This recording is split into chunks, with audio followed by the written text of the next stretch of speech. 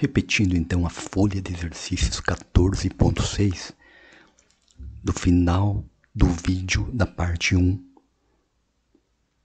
Avalia, avaliação de meus métodos de relaxamento. Abaixo de método de relaxamento usado, escreva atenção plena e aceitação, respiração, relaxamento muscular progressivo ou criação de imagens. Para cada uma de suas sessões de prática, classifique seu nível de ansiedade ou tensão em uma escala de 0 a 100. Em que 0 é nem um pouco e 100 é o máximo já sentido, antes e depois do exercício. Realize inúmeras sessões práticas em cada um dos métodos que você quiser tentar. Na parte inferior da folha, faça alguns comentários sobre o que aprendeu. Veja se suas habilidades de relaxamento melhoram com a prática e também compare os diferentes métodos de relaxamento para saber quais deles funcionam melhor para você. Então, repetindo a parte final do vídeo número 1 de A Mente Vencendo o Humor. A folha de exercícios 14.6, mais algumas informações que faltaram no finalzinho do vídeo, parte 1. No final desta folha de exercícios, há a pergunta: O que aprendi? Meu relaxamento melhorou com a prática? Quais métodos funcionam melhor para mim? E há o espaço então para anotações. Subtítulo: Mudando os pensamentos ansiosos.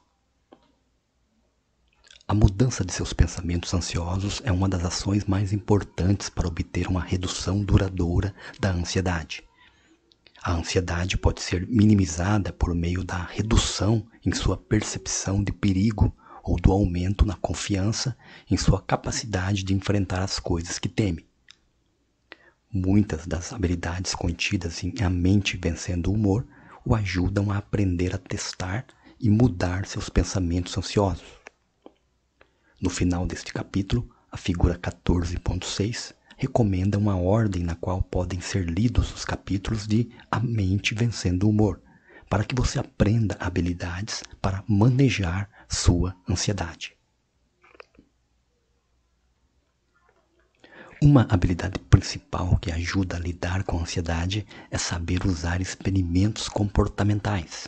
Ver o capítulo 11 para testar os pensamentos relacionados aos degraus em sua escada de medos. Como você já começou a fazer nesse capítulo, a forma mais rápida de reduzir a ansiedade é enfrentá-la usando uma escada de medos. Você pode realizar experimentos em cada degrau de sua escada para ver como consegue lidar com as situações que anteriormente evitava. Esses experimentos permitem que você perceba que é mais capaz de enfrentamento do que originalmente acreditava. O capítulo 10 ajuda a desenvolver planos de ação e a usar a aceitação para enfrentar situações em sua escada de medos. O capítulo 11 ensina sobre pressupostos subjacentes, que são um tipo comum de crença presente na ansiedade. Por exemplo, um pressuposto comum das pessoas ansiosas é se alguma coisa der errado, não vou ser capaz de enfrentá-la. No capítulo 11, você aprende a montar experimentos comportamentais para testar esses tipos de pressupostos. Se o trabalho em sua escada de medos estiver se mostrando útil, você poderá ler e usar as ideias contidas nos capítulos 10 e 11 assim que terminar este capítulo. Se você ler esses capítulos primeiro, pode ler os capítulos 5 a 9 depois que terminá-los.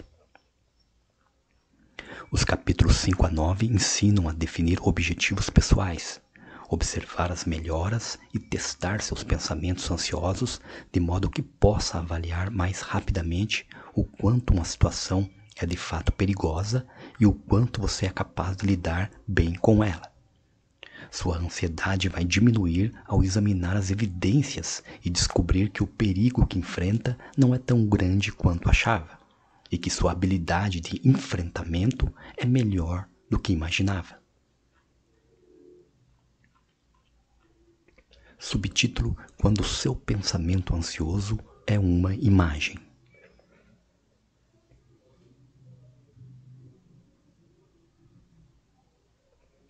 Conforme descrito anteriormente, com frequência os pensamentos ansiosos ocorrem na forma de imagens e também de palavras. Essas imagens podem ser estáticas, como, por exemplo, seu rosto ruborizando. Muito frequentemente, as imagens aparecem mais como um filme no qual se desenrola uma cena inteira. Por exemplo, você pode imaginar uma sequência na qual, na qual diz algo embaraçoso e depois fica muito vermelho, enquanto as pessoas riem de você e balançam a cabeça enquanto se afastam. Seja em palavras ou imagens, os pensamentos ansiosos são geralmente associados ao perigo. Abre parênteses, abre aspas. Alguma coisa vai dar errado. Vou morrer de vergonha. Meu chefe vai me desvalorizar e serei despedido. Fecha aspas, fecha parênteses. Ou a incapacidade de enfrentamento. Abre parênteses, abre aspas. Não consigo lidar com isso. Sou fraco. As outras pessoas são mais confiantes do que eu. Fecha aspas, fecha parênteses. Em geral, as imagens são distorcidas. Por exemplo, se você tem uma imagem de seu chefe se incomodando com você, essa imagem pode retratá-lo como, como mais alto e mais assustador do que ele é na vida real. Ou sua imagem pode exagerar o quanto você parece desconfortável perante outras pessoas. Tais distorções são comuns no imaginário ansioso. Os registros de pensamentos, capítulos 6 a 9, podem ser usados para testar suas imagens e ver quanto elas são compatíveis com sua experiência real. Você também pode usar os experimentos para examinar crenças distorcidas. Por exemplo, se imagina que seu rosto está completamente ruborizado, você pode tirar uma, uma selfie e comparar a foto com sua imaginação.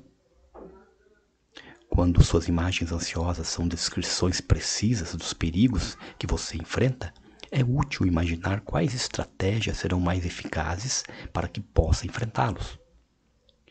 Como você pode ver, a mudança dos pensamentos ansiosos envolve testar suas previsões de perigo e melhorar sua consciência e sua confiança em sua habilidade de enfrentamento. As abordagens que aprender neste livro funcionam igualmente bem independentemente dos seus pensamentos serem em palavras ou em imagens. Subtítulo: Medicamentos.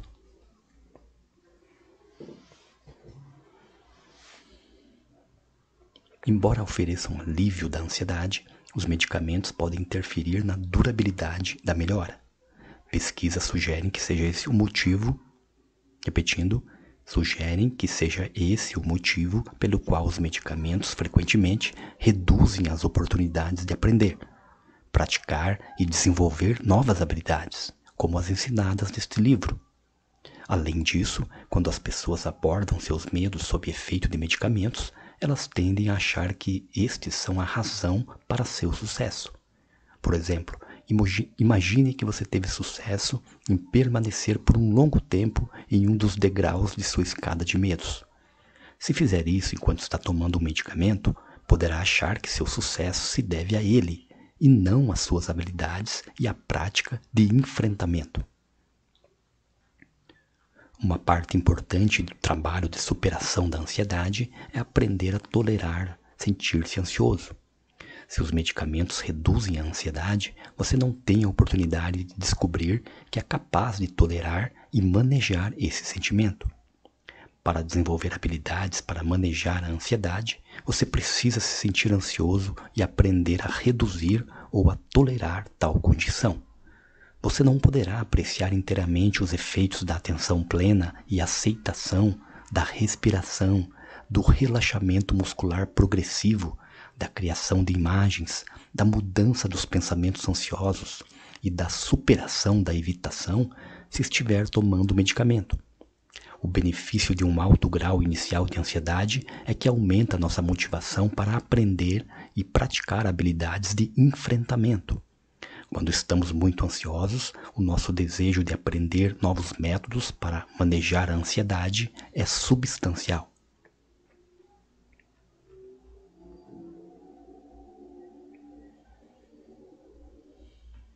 A eficácia de uma intervenção, incluindo o uso de medicamentos, é medida pelos índices de recaída, além de seu efeito imediato. Os índices de recaída registram o número de pessoas beneficiadas por uma intervenção que voltam a experimentar os mesmos sintomas depois que o tratamento termina. Aquelas que foram tratadas com sucesso para seus transtornos de ansiedade somente com medicamentos têm altos índices de recaída. Isto é, a maioria das pessoas que se beneficiam com o uso de medicamentos como único método de tratamento para a ansiedade apresenta retorno da condição no espaço de um ano após a interrupção do tratamento.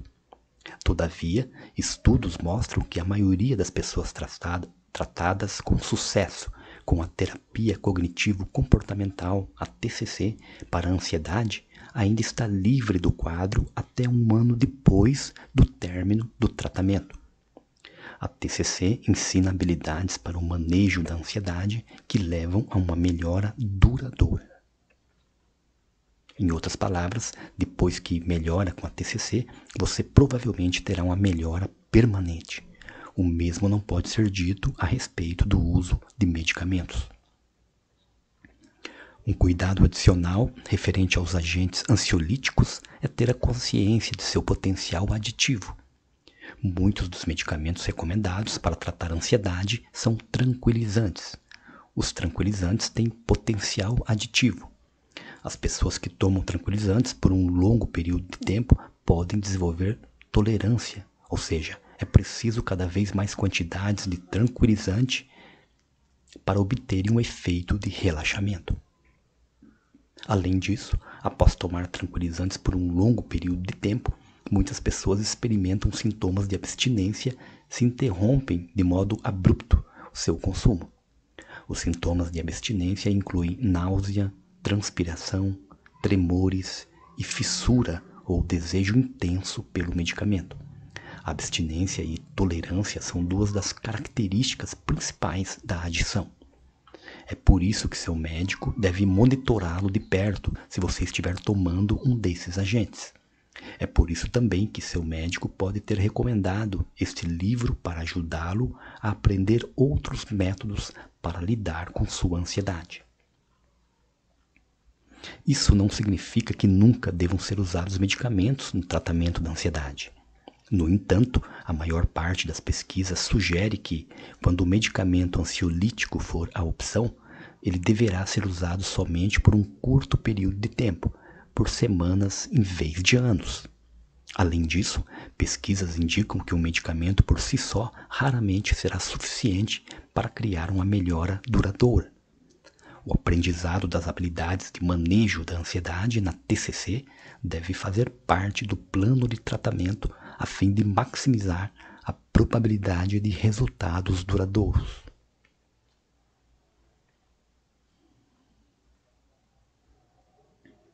Subtítulo: Utilizando da melhor maneira a mente vencendo o humor para a ansiedade.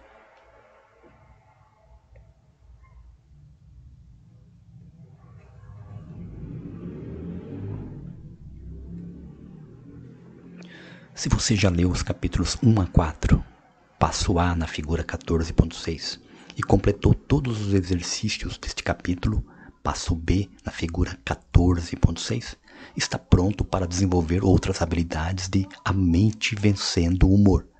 Embora todas as habilidades neste livro o ajudem com a ansiedade, pode ser mais indicado desenvolvê-las em uma sequência particular. Para o alívio mais rápido da ansiedade, leia os demais capítulos de A Mente Vencendo o Humor na ordem apresentada na figura 14.6.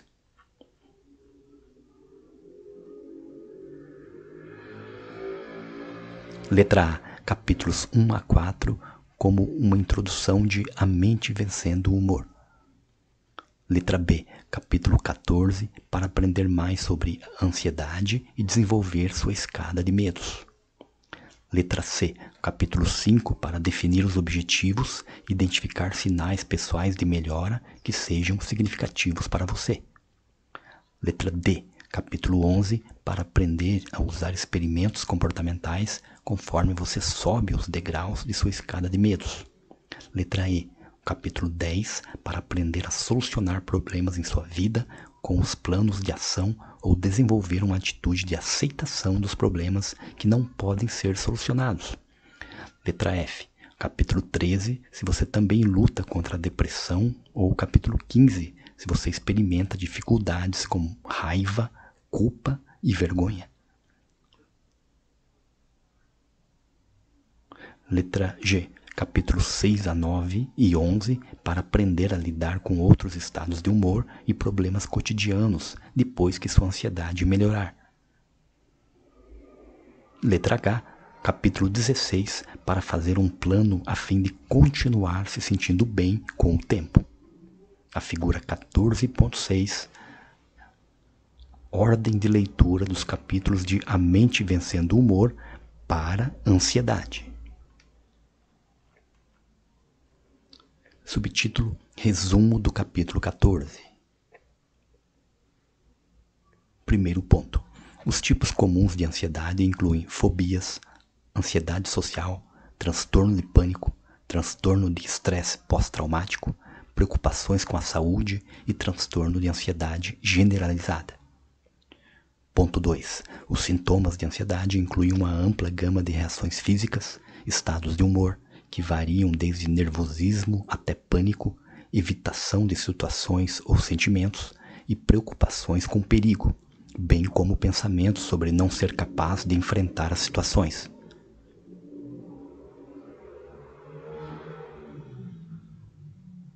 Ponto número 3. Os comportamentos comuns quando estamos ansiosos são evitação e comportamentos de segurança. Esses tipos de comportamentos reduzem a ansiedade em curto prazo, mas tornam o transtorno ainda pior com o passar do tempo. Ponto 4. Os pensamentos ansiosos incluem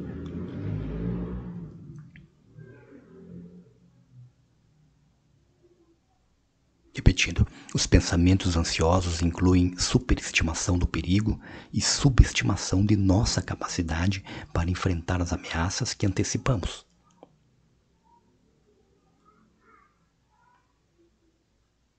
Ponto número 5. Os pensamentos que acompanham a ansiedade frequentemente começam como e se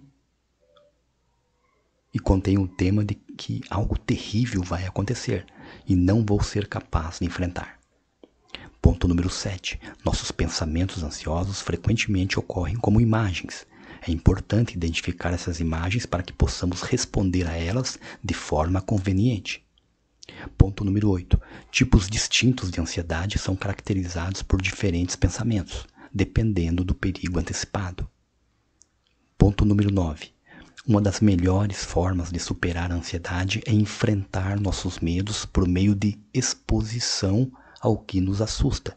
Uma escada de medos é frequentemente usada para o enfrentamento de nossos medos de forma gradual, um degrau por vez, em um ritmo que conseguimos tolerar. Ponto número 10. Muitas habilidades podem nos ajudar a manejar a ansiedade quando enfrentamos nossos medos, incluindo atenção plena e aceitação, respiração, relaxamento muscular progressivo, criação de imagens e mudança de nossos pensamentos ansiosos. Ponto número 11. O uso de medicamentos pode ser útil para algumas pessoas em curto prazo mas não produz melhora duradoura na ansiedade para a maioria das pessoas. Ponto número 12. Mudar nossos pensamentos é uma forma importante de atingir uma melhora duradoura da ansiedade. Ponto número 13. Os capítulos de A Mente Vencendo o Humor podem ser lidos em várias ordens para você aprender as habilidades descritas no livro para diversos propósitos. A figura 14.6 descreve a ordem de leitura dos capítulos para ansiedade.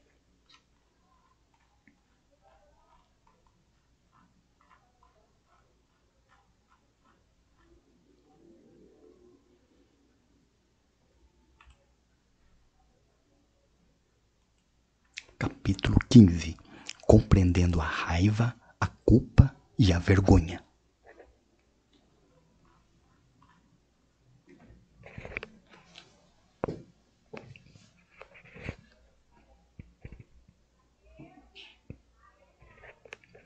Você pode estar lendo este capítulo porque você ou alguém de quem gosta está lutando contra a raiva, a culpa ou a vergonha. Esses estados de humor afetam a todos nós em algum momento. Eles se tornam um problema quando nos afetam na maioria dos dias e quando nos levam a tomar decisões ou a fazer escolhas que prejudicam a nós mesmos ou a outras pessoas. Duas das pessoas descritas em detalhes ao longo deste livro enfrentavam tais estados de humor. Vitor era um vendedor que, de modo geral, se dava bem com seus colegas e amigos. No entanto, às vezes tinha um comportamento explosivo, especialmente quando se sentia desrespeitado ou quando as pessoas próximas pareciam não se importar com ele. Em casa, suas dificuldades no controle da raiva criaram problemas significativos em seu casamento com Júlia Marisa trabalhava fora e era mãe de dois filhos adolescentes. Apesar de conseguir superar muitas dificuldades em sua vida, ela com frequência experimentava uma vergonha profunda por ter sido abusada, abusada sexualmente quando criança. A vergonha afetava sua autoestima e suas relações. Conforme ilustram as experiências de Vitor, a raiva é um sentimento que frequentemente nos leva a atacar e magoar outras pessoas. Quando experimentamos culpa ou vergonha, atacamos ou magoamos a nós mesmos, como Marisa fazia. Este capítulo descreve a raiva, a culpa e a vergonha, detalhando estratégias para compreender e lidar com esses estados de humor. Se você está usando este livro para abordar a raiva, a culpa ou a vergonha, utilize as escalas de, da folha de exercícios 15.1 para avaliar periodicamente esses estados de humor. A mudança positiva vai surgir quando experimentar tais estados de humor com menos frequência, durante menos tempo e com menor intensidade. Por exemplo, se está lidando com a raiva, conforme avançar neste livro, você descobrirá que está sentindo raiva com menos frequência por períodos de tempo mais curtos e sentirá uma raiva menos intensa. Mudanças em alguma dessas áreas podem ser sinais de progresso e é importante que sejam acompanhadas e avaliadas com o passar do tempo. Exercício: avaliando e acompanhando meus estados de humor. A folha de exercícios 15.1 pode ser usada para acompanhar uma variedade de estados de humor negativos incluindo a raiva, culpa e vergonha, bem como humores positivos como felicidade. Folha de exercícios 15.1 Avaliando e acompanhando meus estados de humor. Use esta folha de exercícios para avaliar e acompanhar a frequência, a intensidade e a duração de um humor que você deseja melhorar. Esta folha de exercícios também pode ser usada para avaliar e acompanhar emoções positivas, incluindo felicidade. Humor que estou avaliando. Espaço para anotações. Frequência. Circule ou marque o número abaixo que descreve com maior precisão a frequência com que você experimentou esse humor durante esta semana. De zero, nunca, 10, 20, algumas vezes 30, 40, 50 diariamente, 60, 70, muitas vezes por dia, 80, 90, 100 o tempo todo. Subtítulo Intensidade. Circule ou marque abaixo a intensidade com que você sentiu esse humor durante esta semana. Avalie o momento em que seu humor foi mais forte mesmo que a maior parte do tempo você não o tenha experimentado intensamente. Um score de zero significa que você não sentiu esse humor nesta semana. Um score de 100 indica que esta foi a maior intensidade com que você sentiu esse humor em sua vida. Estados de humor sentidos com muita intensidade têm score acima de 70. Se você sentiu o humor em nível médio de intensidade, atribua a ele um score entre 30 e 70. Classifique um humor leve entre 1 e 30.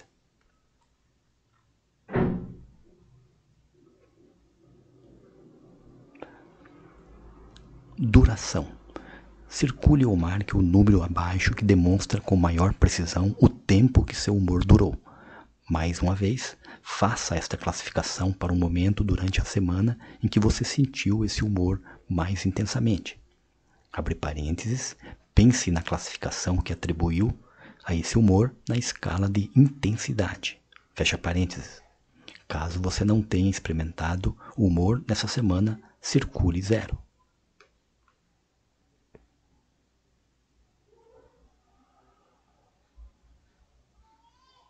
a escala então de avaliação dos scores, da duração, traz a numeração de 0 a 100, com o detalhe de 0 sem humor, 10 uma hora ou menos, 20 uma a duas horas, 30 duas a quatro horas, 40 4 a 8 horas, 50 8 a 12 horas, 60, 12 a 24 horas, 70, 1 a 2 dias, 80, 2 a 4 dias, 90, 4 a 7 dias e 100, 7 dias. Então, essa escala traz então o tempo que seu humor durou.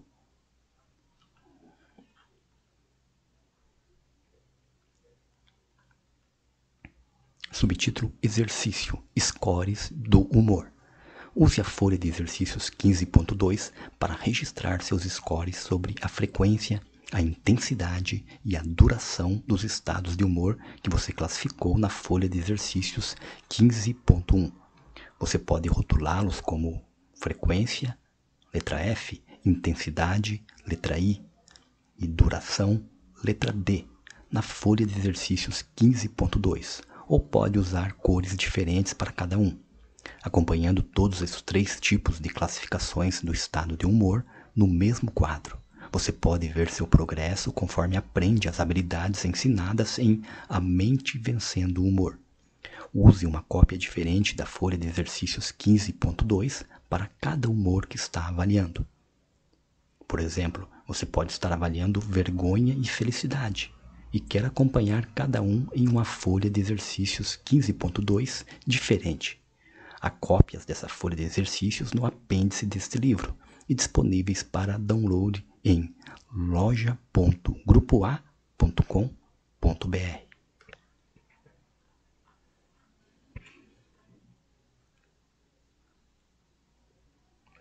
Folha de exercícios 15.2 Quadros de scores do humor humor que estou avaliando. Espaço para anotação.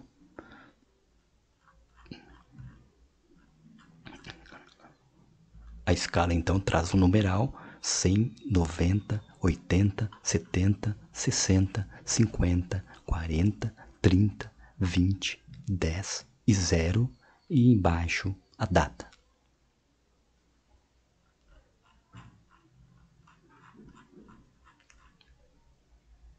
Depois de ter avaliado a frequência, a intensidade e a duração do seu estado de humor e de ter marcado seus scores com a data correspondente na folha de exercícios 15.2, você está pronto para aprender mais sobre raiva, culpa e vergonha e sobre o que pode fazer para se sentir melhor em relação a esses estados de humor.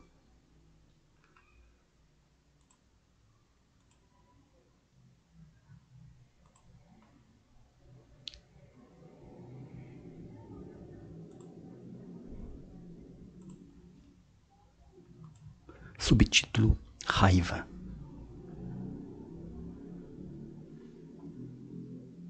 Ricardo pediu a seu companheiro João que colocasse sua camisa nova para lavar enquanto ia fazer compras no mercado. João fez isso com boa vontade e colocou a camisa para a secadora ou na secadora depois de lavada. Quando Ricardo voltou para casa, perguntou sobre a camisa e João se deu conta de que havia esquecido de retirá-la da secadora. Quando retirou a camisa da secadora, ela havia encolhido. Ricardo ficou furioso porque achou que João deveria ter sido mais cuidadoso e lido as instruções para saber se a camisa poderia ser colocada na secadora. Gritou com João. Você não se importa com as minhas coisas? Você é tão descuidado e negligente. João ficou magoado. Embora se sentisse mal em relação ao que havia ocorrido com a camisa, achou que a raiva de Ricardo era desproporcional à situação. João gritou em resposta: A culpa é sua. Sua camisa precisava de cuidados especiais. Você deveria ter me avisado. Não vou mais fazer qualquer favor para você. Pode ser que você não expresse raiva como Ricardo e João fizeram, mas provavelmente já experimentou sentimentos parecidos quando achou que estava sendo maltratado ou que alguém o estava prejudicando ou se aproveitando de você. Assim como todos os estados de humor, a raiva é acompanhada por mudanças no pensamento, no comportamento e nas reações físicas, conforme mostra a figura 15.1. Quando estamos com raiva, nosso corpo se mobiliza para a defesa ou o ataque. Nossos pensamentos são frequentemente tomados por planos de retaliação ou de ira forra, entre aspas. Ou focamos o quanto fomos tratados injustamente, entre aspas. Observe que a emoção da raiva ou de raiva pode variar desde a irritação até a raiva intensa. A intensidade com que ficamos com raiva em determinada situação é influenciada por nossa interpretação do significado do acontecimento. Depois da discussão sobre a camisa, João ficou em silêncio pelo resto do dia. Se Ricardo interpretasse essa reação como um sinal de que João se sentiu magoado, ficaria levemente irritado ou até mesmo preocupado com os sentimentos dele. No entanto, se achasse que o silêncio significava que João não se importava com ele ou que estava ignorando suas preocupações, Ricardo provavelmente sentiria muito mais raiva. A figura 15.1 traz o perfil dos sintomas de raiva. Os pensamentos. Vocês, você ou eles estão me magoando ou me ameaçando. Você ou eles estão violando as regras. Isso não é justo. Comportamentos: defendendo e resistindo, atacando ou discutindo, afastando-se. Estados de humor: irritado, zangado e irado. Reações físicas: tensão muscular, aumento na pressão arterial, batimento cardíaco acelerado. Há uma grande variação individual nos tipos de acontecimentos que despertam a raiva. Uma pessoa pode ficar com raiva enquanto está esperando em uma fila, e, no entanto, pode ouvir calmamente críticas sobre seu desempenho no trabalho. Outra pessoa pode permanecer tranquilamente em uma fila, mas contra-atacar de imediato alguém que aponta suas falhas no trabalho. Os tipos de eventos que provocam a raiva são, estão geralmente associados ao passado do indivíduo, bem como as regras e as crenças que ele tem. Por exemplo, se no passado fomos abusados com frequência ou gravemente, pode, podemos ter uma tendência a ficar de sobreaviso contra abuso futuro. Algumas pessoas que têm uma longa história de abuso ou críticas apressam-se em ver os acontecimentos atuais como abusivos e podem experimentar raiva crônica, algumas vezes desproporcional aos acontecimentos. O padrão de raiva rápida e frequente é acompanhado por uma crença de que podemos nos proteger confrontando o abuso. Enquanto as pessoas que foram abusadas com frequência, mas que se sente repetindo e corrigindo, e quanto às pessoas que foram abusadas com frequência, mas que se sentem indefesas para se proteger. As pessoas que se sentem indefesas frequentemente reagem ao abuso sem raiva, mas com resignação ou depressão. Se você se sente indefeso em face do abuso, seu desafio pode ser aprender a experimentar a raiva quando alguém o prejudicar, em vez de aprender a controlá-la. Portanto, a raiva pode ser um problema por ser muito frequente, desproporcional ao acontecimento e expressa de formas destrutivas o porquê está ausente. É normal sentir raiva às vezes, e ela pode ser uma resposta sadia e adaptativa.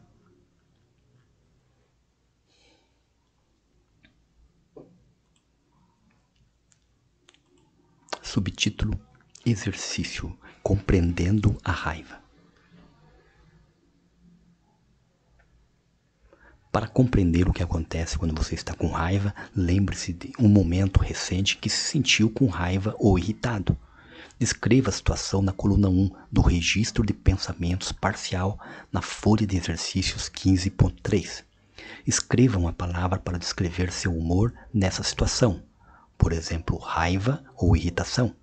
Em uma escala de 0 a 100, com 100 sendo furioso ou com a maior raiva que você já sentiu, 50 sendo o nível médio de raiva e 10 sendo levemente irritado.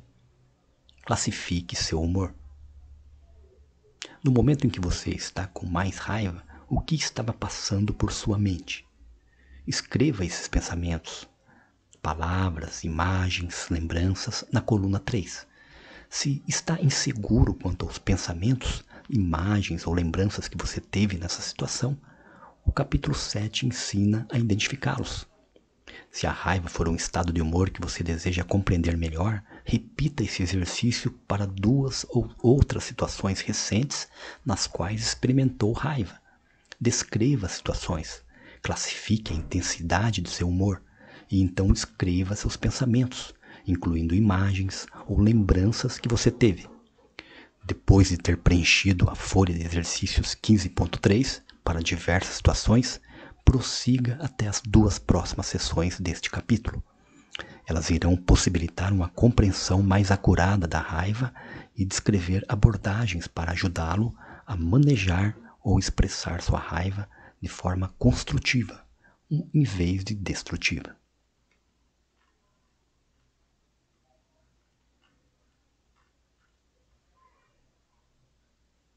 Subtítulo Folha de Exercícios 15.3 Compreendendo a raiva, a culpa e a vergonha. Coluna 1 Situação: Quem, o que, quando e onde. Coluna 2 Estados de humor. Letra A: O que você sentiu? Letra B: Avalie cada estado de humor de 0 a 100%. E coluna 3, pensamentos automáticos ou imagens. Letra A. O que estava passando por sua mente instantes antes de começar a se sentir assim? Algum outro pensamento, imagem ou lembrança? Letra C. Circule ou marque o pensamento quente.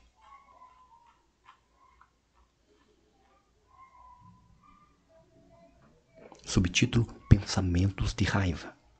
A raiva está associada à percepção de ameaça, dano ou prejuízo e à crença de que foram violadas regras importantes. Também podemos ficar enraivecidos se achamos que fomos tratados injustamente ou impedidos de obter algo que esperávamos atingir.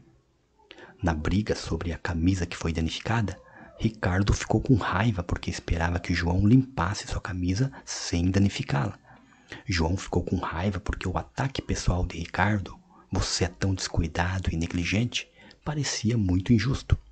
Ricardo não levou em conta o amor e carinho de João por ele e suas boas intenções ao lavar a camisa. Observe a ênfase na justiça, na razoabilidade e na expectativa. Não é simplesmente a mágoa ou o dano que não deixam ou que nos deixam com raiva, mas a violação de nossas regras e expectativas. Imagine um homem que perde seu emprego. Ele se sente com raiva? Depende. Se o homem perder seu emprego e considerar isso uma decisão justa, talvez porque a empresa foi à falência e todos os seus empregados perderam o emprego, provavelmente não sentirá raiva. Entretanto, se achar que sua demissão, talvez outros não tenham sido demitidos ou somente homens de determinada raça ou idade tinham perdido seus empregos, então ele poderá sentir muita raiva. Igualmente, se uma criança pisa em, pé, em seu pé dentro de um ônibus, você sente dor. Sentir raiva ou não depende da sua interpretação e da razoabilidade do comportamento da criança. Sua raiva surgirá rapidamente se você achar que o ato foi intencional. Mas se achar que a criança pisou em seu pé por acidente, quando um solafanco do ônibus a fez perder o equilíbrio, você pode sentir dor, mas provavelmente não sentirá raiva. A probabilidade de raiva em resposta a um dano está relacionada a seu julgamento da razoabilidade da intenção. Por exemplo, em um ônibus superlotado, você pode ignorar o fato de alguém pisar em seu pé, mas facilmente ou mais facilmente do que em um ônibus quase vazio. Tais regras da raiva podem parecer muito simples até você levar em conta que as pessoas variam enormemente quanto ao que consideram justo e razoável. Ricardo esperava que João fosse atencioso e apoiador com ele, mesmo quando estivesse se comportando de alguma forma que João considerasse prejudicial. João, por sua vez, esperava que Ricardo falasse calmamente com ele, mesmo quando estivesse furioso. Ambos achavam que as, as próprias expectativas eram razoáveis e que as expectativas do outro eram irrealistas. Como eles descobriram, a raiva tem mais probabilidade de emergir em relacionamentos íntimos. A raiva raramente é mais intensa do que quando é experimentada com alguém com quem estamos em contato muito próximo, seja essa pessoa um parceiro amoroso ou um colega de trabalho. A ligação entre raiva e intimidade pode ser compreendida com maior precisão se reconhecemos que cada um de nós tem diversas expectativas em relação às nossas amizades, relações amorosas, parcerias de trabalho, etc. É menos provável que tenhamos expectativas pessoais específicas em relação a pessoas que encontramos casualmente. É raro sentirmos raiva intensa de um vendedor de loja porque nossas expectativas quanto a esse tipo de relação são muito baixas. Quanto mais próxima a relação com alguém, provavelmente mais expectativas teremos. Para complicar o quadro, muitas vezes só falamos para a pessoa sobre nossas expectativas, ou até mesmo só tomamos consciência delas depois que são frustradas. Então nos sentimos machucados, decepcionados e frequentemente com raiva.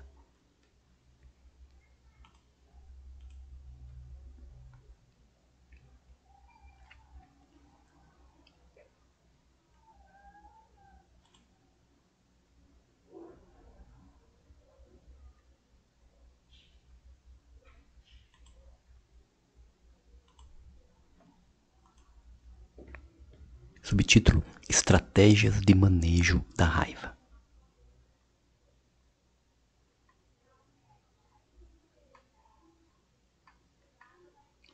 Testando pensamentos de raiva.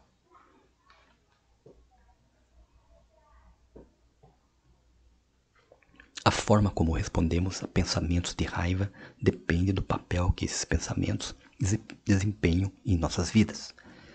Se raramente experimentamos a raiva e surgem pensamentos de raiva por uma clara injustiça, nossa resposta é descobrir como usar nossa raiva para responder à situação de forma construtiva. Quando temos raiva com frequência, especialmente se nossa raiva cria problemas para nós e nossos relacionamentos, então devemos aprender a examinar nossos pensamentos de raiva e ver se pode haver outra forma de pensar sobre as coisas. O registro de pensamentos que você viu nos capítulos 6 a 9 é um bom instrumento para aprender a pensar de formas alternativas. Quando estamos com raiva, costumamos interpretar equivocadamente as intenções das pessoas de forma pessoal e negativa. Podemos pensar que elas estão nos distratando intencionalmente ou se aproveitando de nós, mesmo quando não é o caso. Por exemplo, suponha que você está parado a poucos passos do balcão de uma loja, esperando que o vendedor termine de atender o outro cliente porque precisa de ajuda. Assim que o vendedor termina o atendimento, outra pessoa se aproxima do balcão e começa a falar com ele. Se você achar que essa pessoa ouviu e passou à sua frente deliberadamente, pode ficar com raiva. Se, em contrapartida, achar que foi um engano honesto e que a pessoa não viu você ali parado, então será menos provável que fique com raiva. A diferença entre essas duas reações é se personalizarmos as ações da outra pessoa. Achamos que ela fez isso, entre aspas, para nós, ou que não se deu conta de que estávamos ali. Quando ficamos com raiva, também temos a tendência a personalizar as ações da outra pessoa. Uma das vantagens dos registros de pensamentos é que ajudam a ponderar sobre esses tipos de reações. Você pode aprender a fazer a si mesmo perguntas que o ajudam a levar em conta as intenções da outra pessoa. Os registros de pensamento podem ajudá-lo a considerar explicações alternativas para o comportamento dos outros. Você consegue lembrar-se de alguma vez que passou na frente de uma outra pessoa que estava esperando na fila porque não a viu ali parada? Você não teve a intenção de tirar proveito dela. Ao contrário, aquele foi um simples engano que qualquer um comete em algum momento. Aprender a interpretar as ações das outras pessoas, a considerar suas intenções de forma mais respeitosa e a encarar as situações a partir de diferentes perspectivas são formas úteis de responder à raiva. Pensamentos de raiva frequentemente colocam as pessoas em caixas, por assim dizer. No exemplo anterior, neste capítulo, Ricardo ficou com muita raiva de João quando ele levou sua camisa, ou, corrigindo, lavou sua camisa e ela encolheu. Ricardo chamou de descuidado e negligente. Frequentemente, rotulamos outras pessoas como Ricardo fez quando ficou com raiva. Se esses rótulos são usados com frequência, eles se transformam em caixas que bloqueiam nossa visão flexível das intenções da outra pessoa. Se Ricardo continuasse a pensar em João como negligente, poderia começar a interpretar erroneamente muitos comportamentos como se fosse uma comprovação desse rótulo. Por exemplo, se João entrasse na cozinha e se, e se servisse de uma xícara de café, Ricardo poderia pensar: Oh, ele é tão negligente, ele não me ofereceu uma xícara. Ricardo não levou em consideração que João sabia que ele nunca tomava mais de uma xícara de café e que já tinha tomado uma xícara naquela manhã. João não estava sendo negligente, estava demonstrando estar atento aos hábitos de Ricardo. Na verdade, João se achava atencioso e carinhoso e seu comportamento em geral respaldava isso. Colocar uma pessoa em uma caixa com um rótulo geralmente resulta em muitas falsas interpretações e aborrecimentos desnecessários.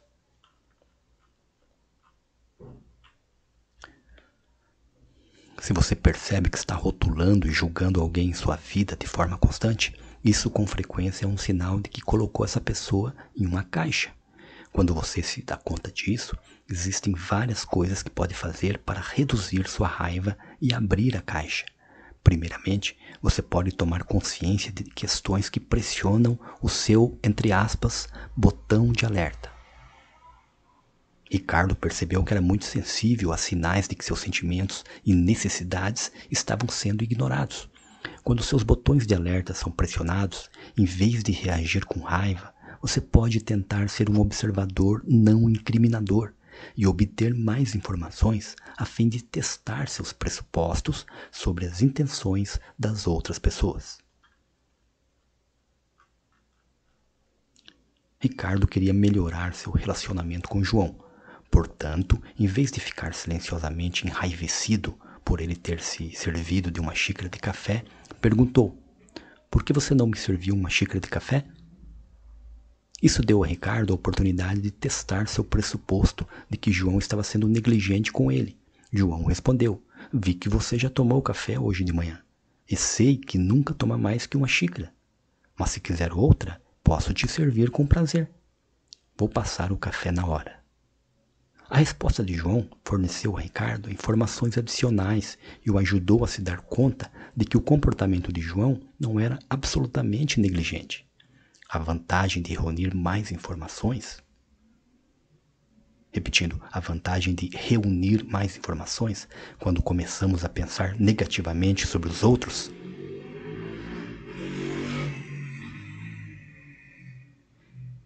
É que isso nos ajuda a compreender as ações das outras pessoas sob novos ângulos.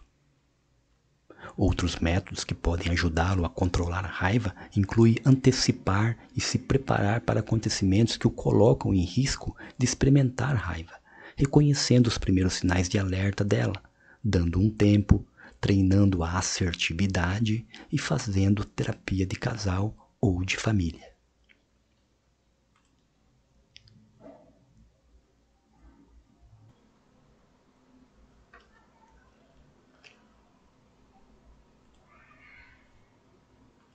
Subtítulo: Usando a imaginação para antecipar e preparar-se para os acontecimentos.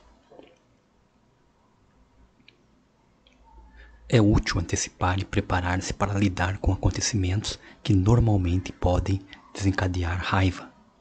Os métodos de criação de imagens descritos no capítulo 14, como formas de reduzir a ansiedade, também podem ser usados para prepará-lo para situações nas quais você está em risco de perder a paciência. Além de usar a imaginação para se acalmar, você pode usar a imaginação para planejar e preparar os tipos de resposta que deseja dar. É melhor usar a imaginação antes de entrar em uma situação na qual está em risco de perder a paciência. Você pode imaginar-se dizendo o que quer dizer, a maneira como quer dizer e obtendo a resposta que espera ter. No caso de as coisas não terem o resultado que você espera, pode ser útil imaginar como vai lidar com os problemas que podem ocorrer.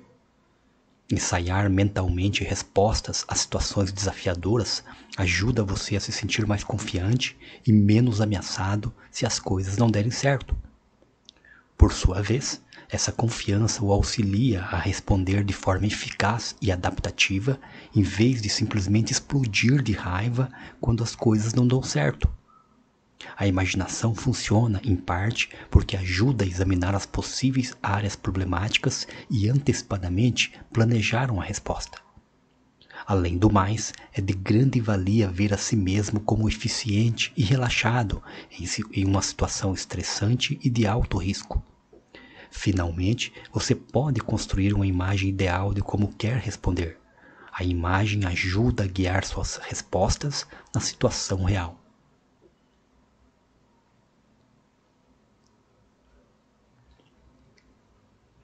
Se você conseguir identificar uma situação que será estressante e na qual está em alto risco de experimentar raiva, você terá a oportunidade de planejar escrever e ensaiar exatamente o que quer dizer e como quer dizer. Esse roteiro ajuda a desenvolver uma estratégia voltada para o que você deseja atingir e entrar na situação com maior grau de confiança. Subtítulo Reconhecendo os primeiros sinais de raiva. Além da antecipação, de situações nas quais provavelmente terá raiva, é importante reconhecer os sinais de que você está ficando com raiva ou que sua raiva está saindo do controle. Para muitas pessoas, os primeiros sinais de alerta de que a raiva pode ficar fora do controle, do controle incluem instabilidade, tensão muscular, mandíbula cerrada, pressão no peito, gritos, punhos cerrados e dizer inverdades. Um pouco de raiva é aceitável, mas quando você se der conta de que está começando a entrar em uma zona de raiva destrutiva, pare um instante para lembrar-se das suas opções. Você pode escolher ter raiva ou dar um tempo ou usar a assertividade para se acalmar, conforme descrito a seguir. Subtítulo: Dar um tempo. Dar um tempo pode ser uma forma eficaz de controlar a raiva. Dar um tempo envolve afastar-se da situação em que está quando, em que está quando os primeiros sinais de alerta indicarem que sua raiva pode sair do controle. Dar um tempo ajuda a recuperar o controle sobre si mesmo e sobre a situação. Você tem a oportunidade de se lembrar de que é importante e do que está tentando obter. Repetindo, você tem a oportunidade de se lembrar do que é importante e do que está tentando obter. O uso eficiente desses intervalos envolve o reconhecimento dos primeiros sinais de que a raiva está interferindo em como você quer manejar a situação ou que está se tornando destrutiva. Pode-se usar os intervalos como os atletas fazem para se reagrupar, desenvolver estratégias, relaxar ou simplesmente descansar. Seu intervalo pode durar 5 minutos ou até mesmo 24 horas. Ele não é usado para evitar uma situação, mas para capacitá-lo a abordá-la a partir de um novo ângulo e com um novo início. Algumas vezes, o simples, o simples fato de se afastar da situação já ajuda a encará-la de forma diferente. Durante o intervalo, você também pode praticar os exercícios de relaxamento descritos nos capítulos ou no capítulo 14, nas páginas 235 e 236. Você vai descobrir que aproveita ao máximo o intervalo quando o utiliza para testar seus pensamentos de raiva conforme os descritos anteriormente neste capítulo e nos capítulos 6 a 9. Algumas pessoas tentam retornar à situação com uma nova estratégia em mente para minimizar a possibilidade de uma explosão de raiva. Conforme já descrito, você pode usar a criação de imagens para praticar o que deseja dizer e fazer antes de retornar à situação. Repetindo, você pode usar a criação de imagens para praticar o que deseja dizer e fazer antes de retornar à situação. Subtítulo Assertividade.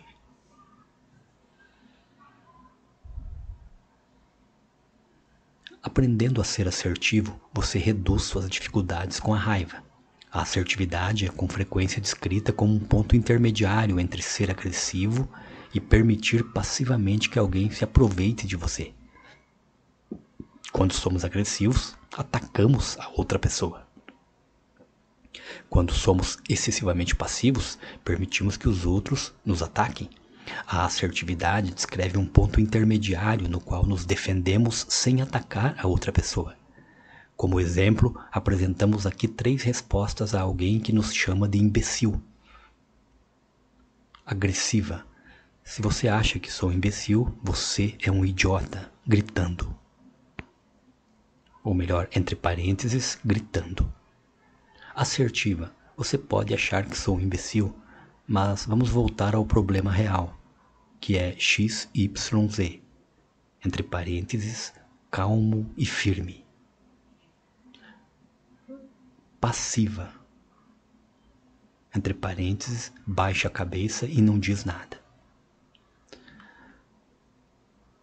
Assertividade também significa expressar desejos e necessidades de maneira simples. Por exemplo, suponha que você está voltando para a casa do trabalho e seus filhos começam a pedir sua atenção, todos ao mesmo tempo. Se estiver cansado e tentar satisfazer as necessidades deles, entre parênteses, passivo, você começará a se sentir sobrecarregado e acabará explodindo de raiva, entre parênteses, agressivo. Geralmente é melhor ser assertivo e dizer algo como: Estou muito cansado e preciso de alguns minutos antes de brincar com vocês. Isso dá tempo para você se recuperar, lembrar-se do quanto ama seus filhos e preparar-se para passar um tempo com eles ou definir limites quando necessário. Dessa maneira, a assertividade reduz a frequência com que você é tratado injustamente ou se aproveitam de você. Assim, pode prevenir situações que provocam raiva. Também dá a você maior sensação de controle em sua vida.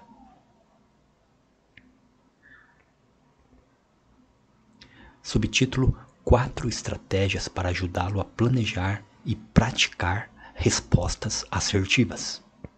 Número 1. Um, use afirmações do tipo eu. Afirmações de raiva costumam começar com a palavra você e expressam acusação pelos problemas. Por exemplo, você sempre pensa primeiro em si. Iniciar uma conversa dessa maneira coloca outra pessoa na defensiva e assim diminui a possibilidade que ela escute o que você tem a dizer. Respostas assertivas frequentemente começam com eu e expressam suas reações, necessidades e desejos. Por exemplo, eu realmente gostaria que você ouvisse o que estou pensando e sentindo. Expressar uma necessidade ou solicitação aumenta as chances de fazer a outra pessoa escutar sua mensagem e, desse modo, provavelmente a conversa será produtiva. Número 2. Reconheça o que há de verdade nas queixas que alguém tem de você e, ao mesmo tempo, defenda seus direitos.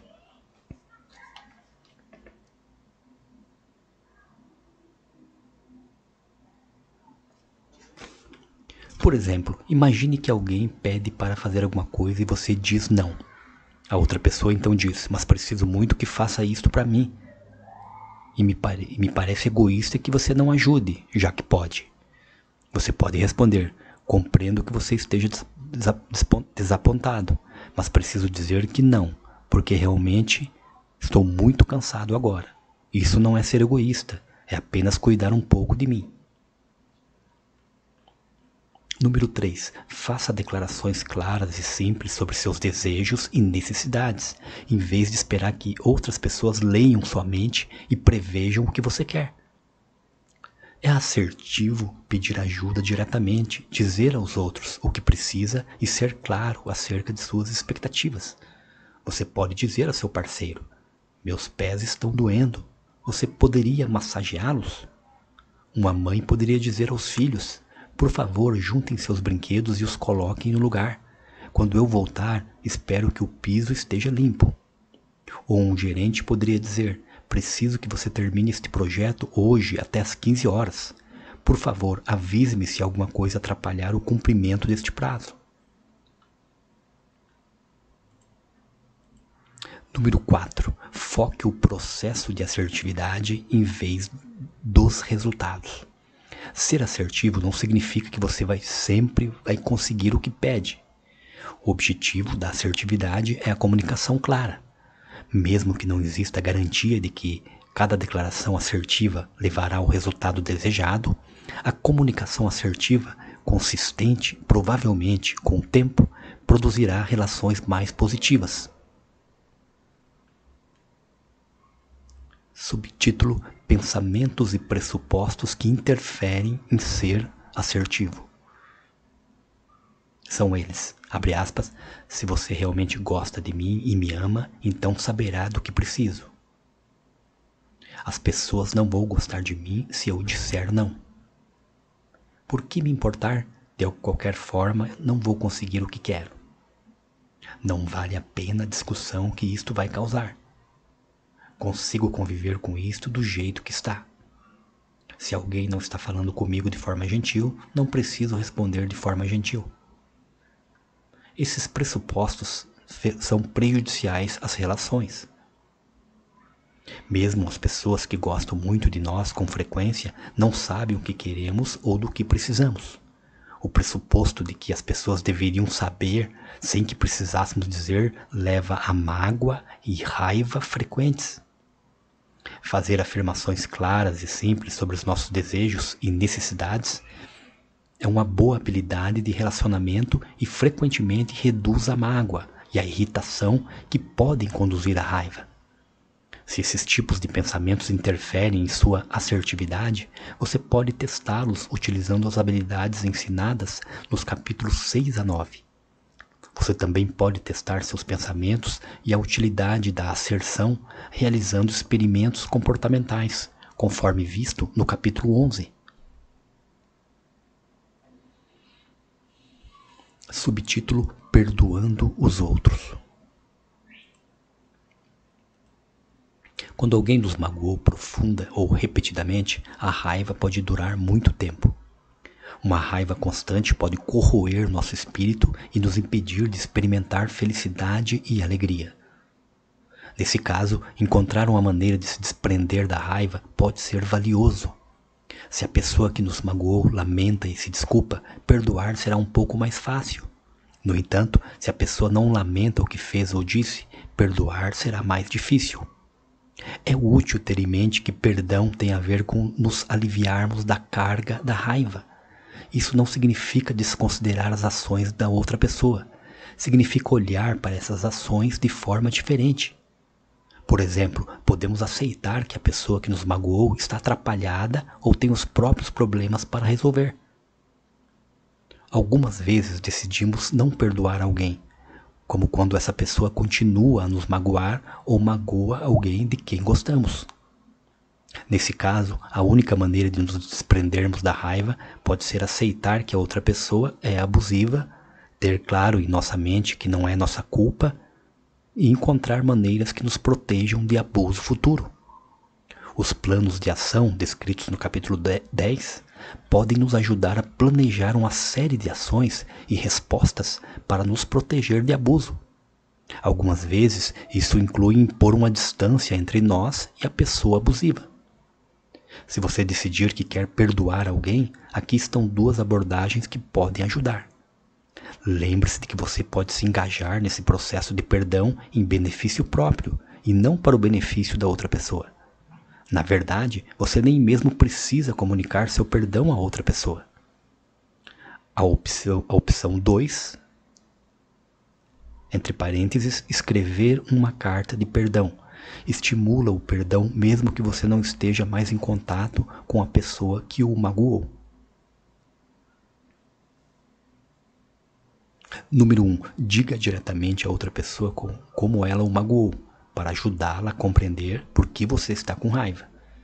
Se usar afirmações do tipo eu, conforme descrito na sessão anterior sobre assertividade, a outra pessoa terá chance de levar em consideração sua perspectiva e responder. Por exemplo, você pode dizer a seu cônjuge ou a um amigo: Sinto-me como um estranho quando você não me apresenta seus amigos. Quando você continua a fazer isso, mesmo depois de eu ter falado muitas vezes a respeito, a mensagem que recebo é que realmente não se importa com meus sentimentos. Se a outra pessoa se desculpa, você pode decidir entre perdoá-la ou falar sobre as mudanças futuras necessárias para que possa perdoá-la. Por exemplo, você pode dizer: Quero acreditar em você e perdoá-lo. Se me apresentar a alguns de seus amigos durante o próximo mês, isso vai me mostrar que realmente se importa e vai me ajudar a não me sentir. Repetindo, e vai me ajudar a não me sentir magoado e com raiva. Número 2. Escreva uma carta de perdão narrando a mágoa ou o dano que foi feito a você. Esta é uma carta que você não vai enviar.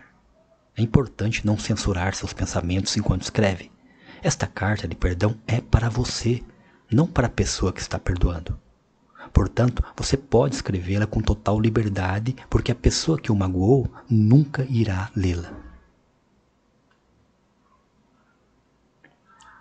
Exercício: escrevendo uma carta de perdão.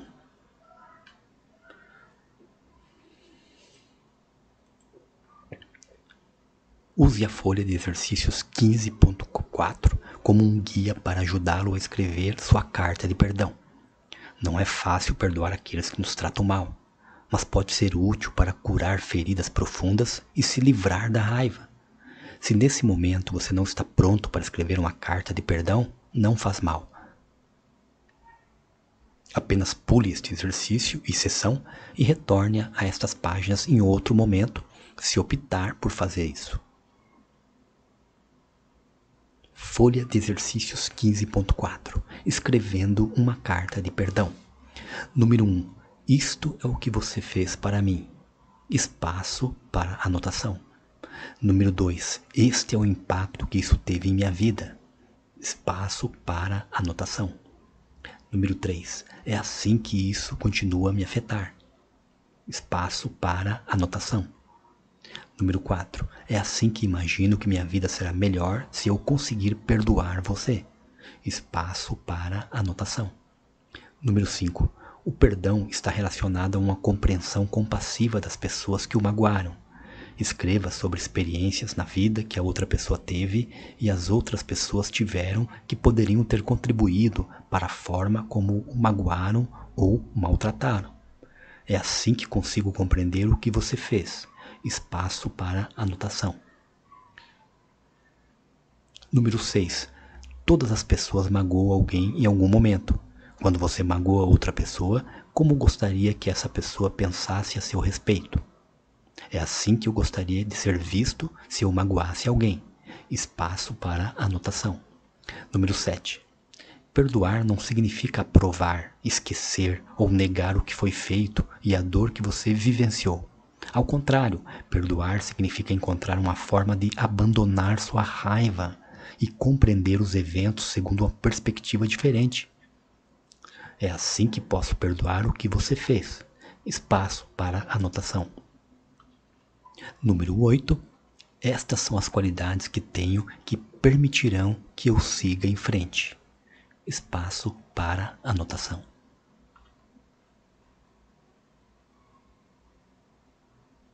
Subtítulo: Exercício avaliando as estratégias de manejo da raiva.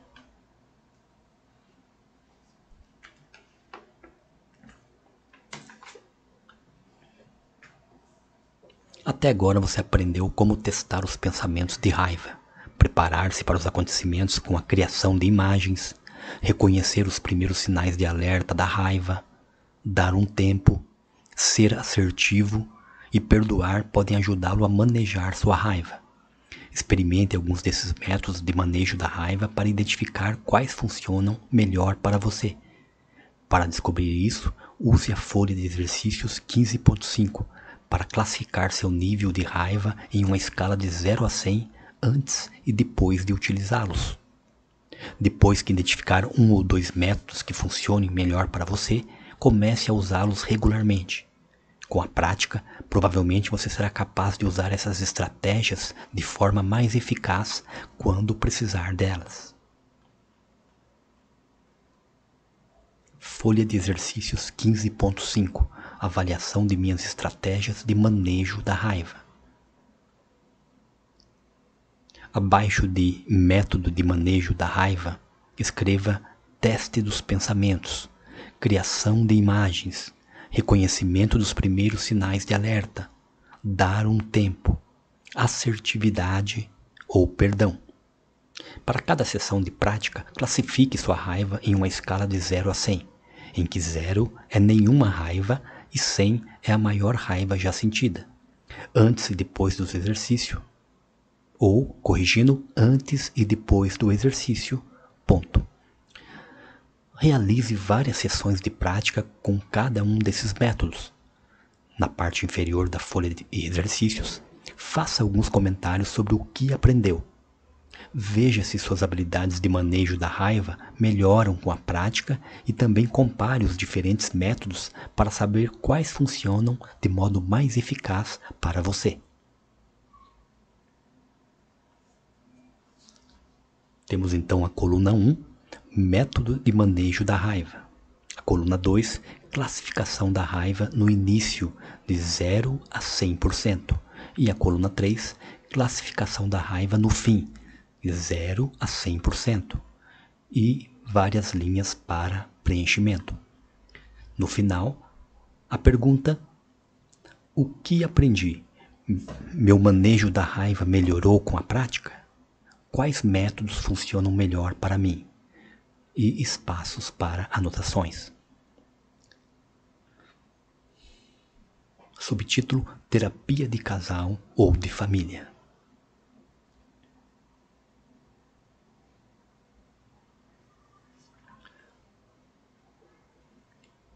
Para algumas pessoas, a raiva ocorre preponderantemente com membros da família. Se as estratégias de manejo de raiva descritas anteriormente não ajudarem a manejar a raiva em suas relações mais íntimas, uma terapia de casal ou família pode ser útil. Suas percepções, suas atitudes, suas crenças e seus pensamentos sobre o parceiro, os filhos, os outros membros da família podem alimentar sua raiva. A terapia pode ensiná-lo a se comunicar melhor, aumentar as interações positivas em seus relacionamentos e a desenvolver habilidades de negociação. Também pode ajudá-lo a aprender estratégias para identificação e alteração de expectativas e regras. Essas habilidades podem reduzir a raiva e melhorar a qualidade de suas relações.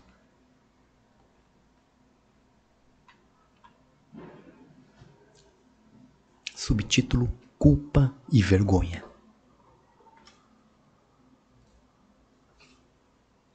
Culpa e vergonha são emoções intimamente ligadas. Tendemos a nos sentir culpados quando acreditamos que violamos regras que são importantes para nós ou quando não estamos à altura dos padrões que estabelecemos para nós mesmos. Também sentimos culpa quando julgamos que fizemos alguma coisa errada. Se pensarmos que, entre aspas, deveríamos ter nos comportado de forma diferente ou que, entre aspas, tínhamos de ter feito melhor, provavelmente sentiremos culpa. A vergonha também envolve a sensação de que fizemos algo errado. No entanto, quando sentimos vergonha, assumimos que o que fizemos errado ou assum... repetindo, assumimos que o que fizemos errado significa que, entre aspas, falhamos, não somos bons, somos inadequados, horríveis ou maus. A vergonha em geral está conectada a uma visão altamente negativa de nós mesmos. Vergonha frequentemente envolve segredo. Podemos pensar: se os outros soubessem este segredo, ficariam indignados comigo ou pensariam mal de mim. Por essa razão, a origem da vergonha raramente é revelada e permanece oculta e destrutiva. A vergonha frequentemente acompanha um segredo familiar, envolvendo outros membros da família. Um segredo como alcoolismo, abuso sexual, aborto, falência ou outro comportamento considerado desonroso na comunidade. Marisa tinha vergonha de ter sofrido abuso sexual. Embora o abuso tivesse iniciado quando tinha seis anos de idade, ela nunca revelara completamente a extensão da violência sexual sofrida até fazer 26 anos. Ela tentou contar à mãe sobre o abuso quando era mais jovem, mas foi repreendida e acusada de mentir. Sempre que recordava do abuso sexual, era invadida por sentimentos de vergonha. Durante a terapia, ela preencheu a folha de exercícios 15.3. Sua folha de exercícios demonstrou uma conexão entre seus pensamentos e sua vergonha. Esse exemplo demonstra a natureza secreta da vergonha. Abre aspas, eu nunca conseguiria contar a Juliana que isso aconteceu. Fecha aspas e também como a vergonha estava conectada à visão que Marisa tinha de si mesma como horrível e desprezível. Subtítulo Superando a culpa e a vergonha.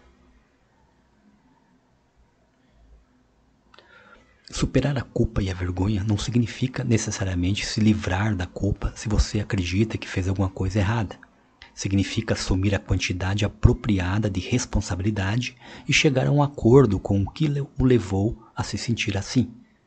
Há cinco aspectos na superação da culpa e da vergonha: avaliar a gravidade de suas ações, pesar a responsabilidade pessoal, reparar quais danos que você tenha causado, quebrar o silêncio em torno da vergonha e auto-perdoar-se. Frequentemente, apenas um ou os dois desses exercícios são necessários para ajudar a superar a culpa. Às vezes, no entanto, a superação da culpa requer um trabalho em todos os cinco aspectos. Repetindo, em todos os cinco aspectos.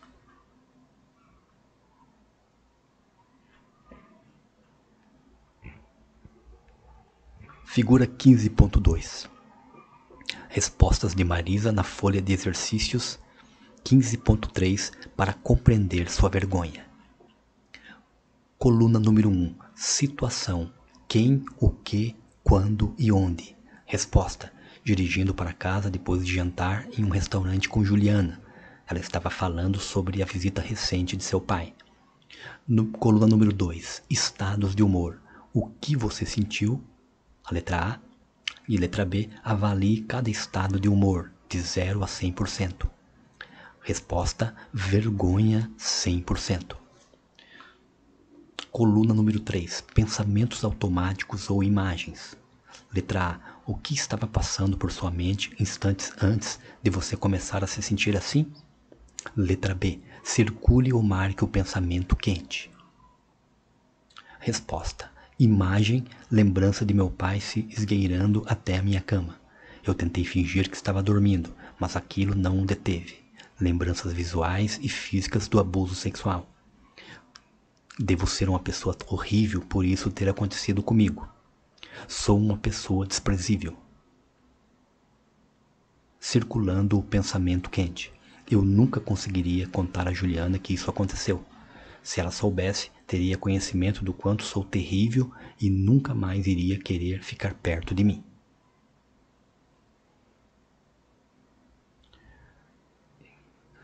Essa então a figura 15.2, respostas de Marisa na folha de exercícios 15.3 para compreender sua vergonha. Subtítulo Avaliando a gravidade de suas ações. Podemos sentir vergonha ou culpa por grandes ou pequenas ações, como você compraria ou como você compararia a gravidade dessas três ações por parte de Tânia? Primeiro, Tânia estava cansada do fim do dia. Seu telefone tocou e ela decidiu não atendê-lo porque não queria falar com ninguém. Ela ouviu a voz de sua mãe na secretária eletrônica dizendo: Tânia, você está aí? Quero contar sobre minhas férias. Tânia não atendeu o telefone. Número 2. Depois que a mãe de Tânia deixou sua mensagem, o telefone tocou novamente. Quando Tânia ouviu a voz de sua melhor amiga na secretária eletrônica, pegou o telefone e conversou com ela por 10 minutos. Número 3. No dia seguinte, Tânia disse à mãe que não estava em casa quando ela ligou na noite anterior. As três experiências de Tânia descrevem eventos relativamente pequenos. No entanto, muitas pessoas julgariam a gravidade desses eventos de forma diferente. Em qual desses três eventos você provavelmente se sentiria culpado? Por quê? Sua avaliação da gravidade de uma ação ou um pensamento depende de suas regras e de seus valores. Muitas pessoas dizem que se sentiriam mais culpadas por mentir à mãe, o item número 3, do que por não atender o telefone, o item número 1. Algumas pessoas podem se sentir igualmente culpadas em todos os três exemplos. Culpa e vergonha frequentes significam que você está vivendo sua vida de uma forma que viola seus princípios. Por exemplo, ter um caso quando acredita no casamento monógamo. Ou que está julgando ações muito pequenas como graves. Para avaliar a gravidade das ações que levam à culpa e à vergonha, você pode responder as perguntas contidas nas dicas úteis a seguir. Essas perguntas encorajam você a olhar para a situação a partir de diferentes perspectivas. Isso é muito útil se você tende a sentir culpa ou vergonha em muitas situações, mesmo quando outras pessoas com valores semelhantes não se sentem assim. Perguntas formuladas para mudar a perspectiva podem ajudá-lo a avaliar a gravidade de suas ações. Pergunte a si mesmo: qual a importância que isto vai ter daqui a cinco anos? Ter um caso com certeza continuará parecendo uma grande violação de uma relação monógama daqui a cinco anos. Chegar tarde em casa para o jantar por três noites seguidas não parecerá importante daqui a cinco anos mesmo que esse seja um evento estressante para você e seu parceiro agora. Portanto, uma culpa persistente a respeito de um caso extraconjugal faria mais sentido do que uma culpa persistente por chegar tarde em casa para o jantar. Subtítulo Dicas úteis.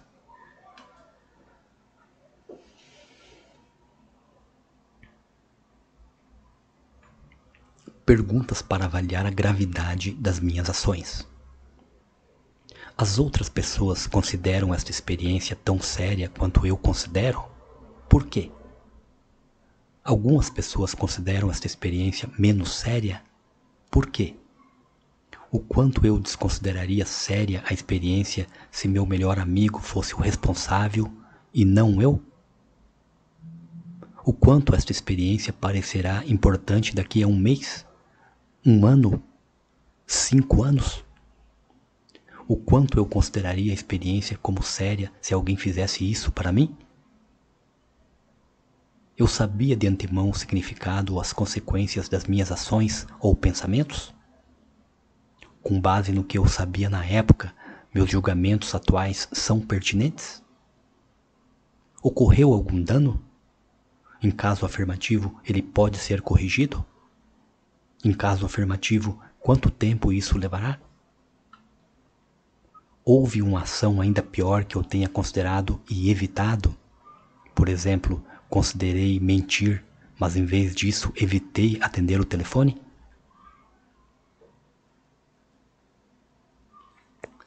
Subtítulo Exercício Avaliando a gravidade de minhas ações.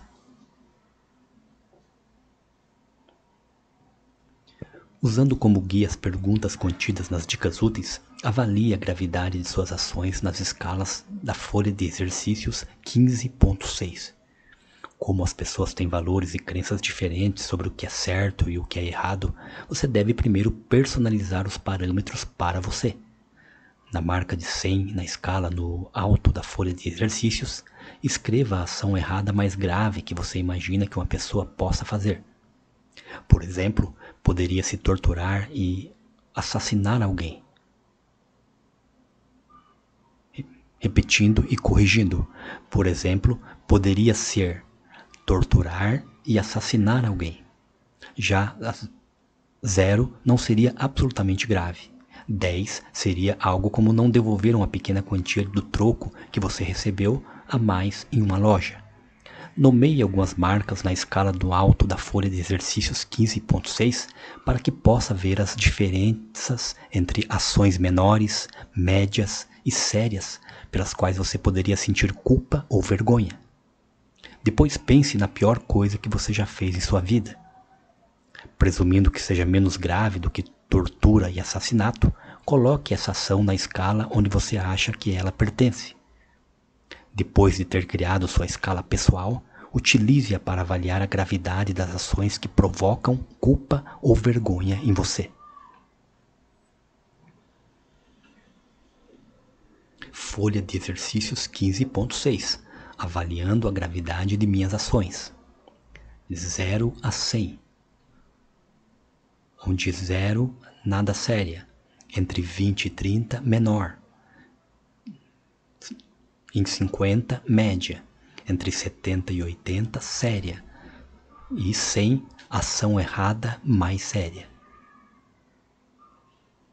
Meus exemplos pessoais. Exemplo pessoal menor. Espaço para anotações. Minha classificação. Espaço para anotações. Pior ação pessoal espaço para anotações. Minha classificação, espaço para anota anotações. Ações que estou avaliando, espaço para anotações. Minha classificação.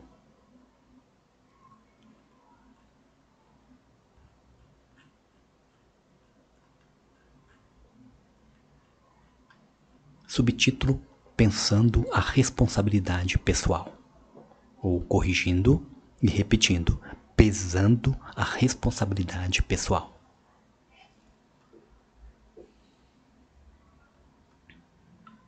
Depois de ter avaliado a gravidade de suas ações, é importante pesar o quanto da violação é sua responsabilidade pessoal. Marisa sentia vergonha de ter sido molestada quando criança. O abuso foi certamente um evento grave em sua vida, mas ela foi responsável por ele? repetindo, mas ela foi responsável por ele? Vitor se sentiu culpado por ter explodido de raiva com sua esposa, Júlia, uma noite quando ela começou a reclamar das contas atrasadas do cartão de crédito. Ele foi responsável por sua reação de raiva? Um bom modo, um bom modo de pesar a responsabilidade pessoal é construir uma torta de responsabilidades, entre aspas. Para fazer isso, liste todas as pessoas e todos os aspectos de uma situação que contribuíram para um evento em relação ao qual você se sentiu culpado ou envergonhado. Inclua a si mesmo na lista. Depois desenhe um círculo para representar uma torta e atribua fatias de responsabilidade para o evento em tamanhos que reflitam a respectiva responsabilidade. Desenhe a própria fatia por último, de maneira que você não atribua prematuramente responsabilidade demais a si mesmo. A figura 15.3 mostra as pessoas e coisas que Marisa identificou como parcialmente responsáveis por seu abuso sexual e como ela completou sua primeira torta de responsabilidades. Embora Marisa sempre tenha se sentido pessoalmente responsável por ter sido molestada, quando preencheu uma torta de responsabilidades, atribuiu a si mesma uma parte muito pequena da responsabilidade. Ela decidiu que se sentia responsável somente por não dizer não ao pai. A maior parte da responsabilidade pelo que aconteceu foi de seu pai, e mesmo as fatias representando sua mãe, seu avô e o álcool eram maiores do que as de Marisa. Quando ela mostrou sua torta de responsabilidades para o terapeuta, eles discutiram mais sobre a responsabilidade dela. Depois de várias sessões, Marisa, veio a compreender e acreditar que não era de forma alguma responsável por ter sido molestada. Ela aprendeu que o abuso é de inteira responsabilidade do adulto. Como a maioria das crianças, ela não tinha o conhecimento ou a segurança para dizer não com 6 anos de idade ou mesmo com 13 anos. Quando finalmente disse não aos 14 anos, o abuso parou. Mas parar seu pai aos 14 anos não significava que ela tinha capacidade de fazer isso desde o começo.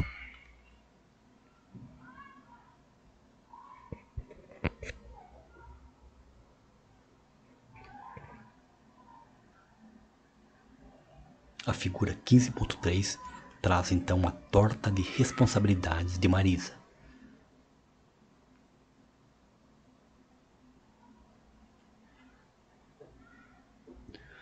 Seu pai pode não ter desejado arriscar um confronto quando ela ficou maior. Mesmo que ela tivesse dito não quando era menor, provavelmente isso não teria impedido.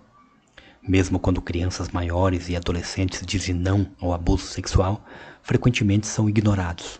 A torta de responsabilidades ajudou a aliviar Marisa de sua culpa. Vitor completou a torta de responsabilidades na figura 15.4 quando se sentiu culpado por gritar com sua esposa depois que ela reclamou sobre as contas do cartão de crédito vencidas. Essa foi uma violação séria de sua promessa a Júlia de que não a atacaria quando estivesse com raiva. Embora não tivesse agredido e nem empurrado Júlia, ele a intimidou fisicamente ao parar de pé muito perto dela e gritar em frente ao seu rosto. Como você pode ver, Victor decidiu que ele era o principal responsável por sua explosão de raiva.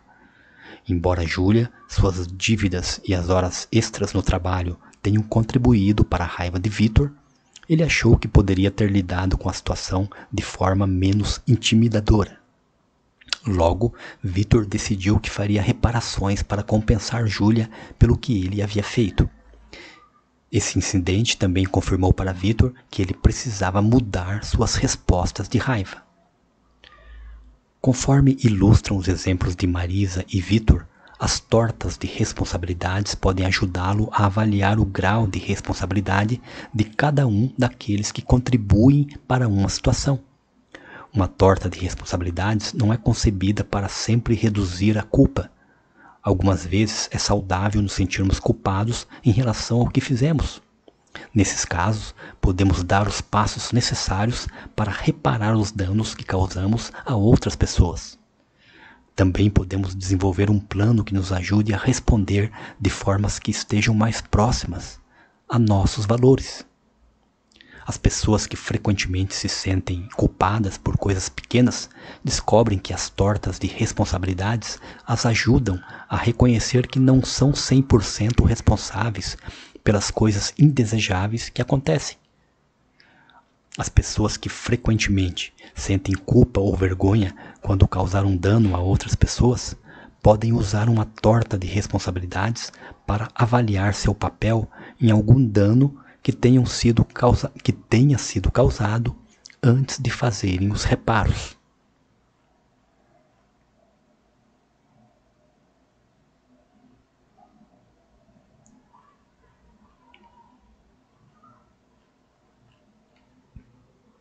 Figura 15.4 traz então uma torta de responsabilidades de Vitor. pessoas e aspectos responsáveis por minha explosão de raiva. Nossas dívidas e nossos problemas financeiros. Júlia trazendo o assunto à noite quando eu estava cansado. As horas extras em meu trabalho. Estou muito cansado e irritado. E eu. Na torta de responsabilidades. Vitor então atribui a ele mesmo a maior fatia da responsabilidade. Um número menor para Júlia, ou uma fatia menor para Júlia, uma fatia ainda menor para as horas extras e uma fatia maior também para dívidas. Mas nessa torta, claro, ele mesmo reconheceu que a fatia muito maior da responsabilidade era dele mesmo.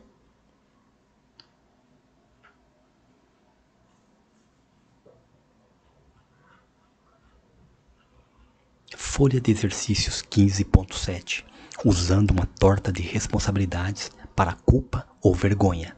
Número 1. Evento ou situação negativa que originou a culpa ou a vergonha. Número 2. Pessoas e circunstâncias que podem ter contribuído para esse resultado. Número 3. A torta de responsabilidades. E número 4 você é 100% responsável? Como essa torta de responsabilidades afeta seus sentimentos de culpa e vergonha?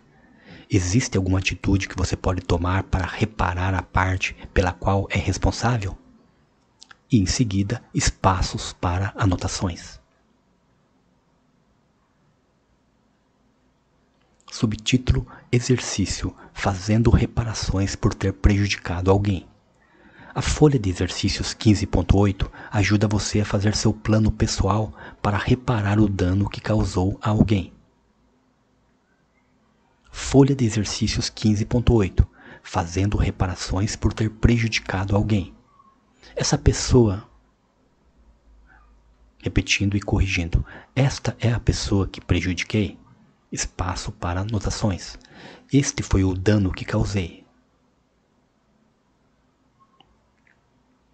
Espaço para anotações. Por isto é que eu estava errado. Os valores que violei. Espaços para anotações. Isto é o que posso fazer para reparar.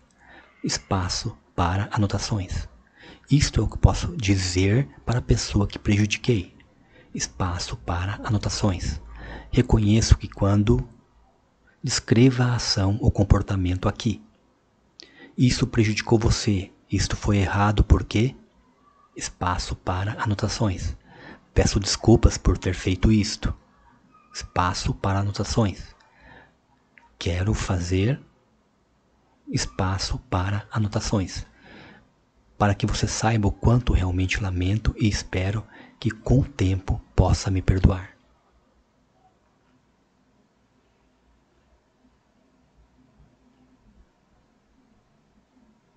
Observe que a folha de exercícios 15.8 foca seu trabalho de reparação, não o perdão que a outra pessoa possa lhe dar. Você pode pedir que alguém o perdoe e, com o tempo, Repetindo, você pode pedir, pedir que alguém o perdoe com o tempo, mas isso não é garantia de que a pessoa irá fazê-lo, especialmente se magoou profundamente e por muitas vezes. No entanto, fazer reparações ajuda você a se sentir melhor, sobretudo quando está realmente arrependido. Faz alguma mudança em seu comportamento para tentar ser uma pessoa melhor e se esforça para fazer reparações a alguém que prejudicou. As tentativas de ser uma pessoa melhor o aproximam de uma ação que esteja mais de acordo com seus valores, e isso irá ajudá-lo a se, a se sentir bem em relação a si mesmo.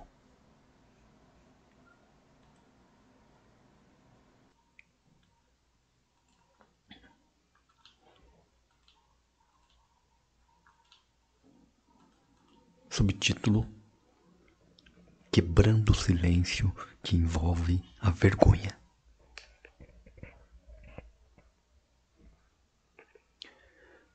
Quando a vergonha envolve um segredo, é importante conversar com uma pessoa confiável sobre o que aconteceu. A necessidade de manter silêncio frequentemente está baseada na expectativa de que a revelação do segredo resultará em condenação, crítica ou rejeição.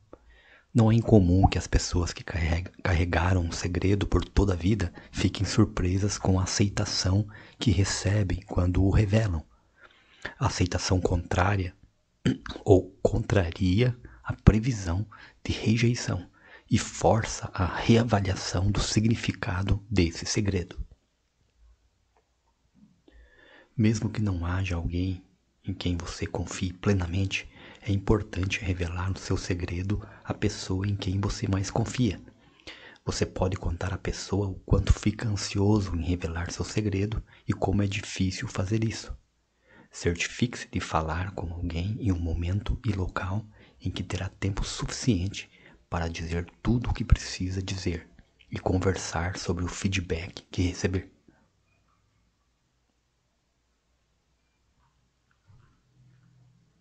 Muito embora Petra fosse uma executiva de sucesso em uma grande empresa, ela escondia o fato de ter sido reprovada e expulsa da, da universidade após seu primeiro ano. Isto ocorreu depois de um período atribulado em sua juventude durante a qual frequentava festas a maior parte do tempo e usava drogas ilícitas. Agora, como profissional adulta e respeitada, dizia às pessoas que nunca havia tido condições financeiras de ir para a universidade. Petra sentia vergonha de seu comportamento quando jovem e se sentia ainda mais envergonhada por seu fracasso acadêmico. Sua preocupação era de que as pessoas a julgassem negativamente quando ficassem sabendo disso. Isso pesava muito sobre ela, especialmente quando outras pessoas falavam sobre o uso de drogas ou a formatura de seus filhos na universidade. Certa noite, Petra saiu para jantar com sua melhor amiga, Mônica. Elas estavam conversando sobre erros que haviam cometido quando eram mais moças. Mônica contou a história de um homem que havia namorado que se tornava assustador quando bebia Contou a Petra que algumas vezes tinha dificuldade de aceitar como fora capaz de ficar com ele por tanto tempo. Foi então que Petra decidiu correr o risco.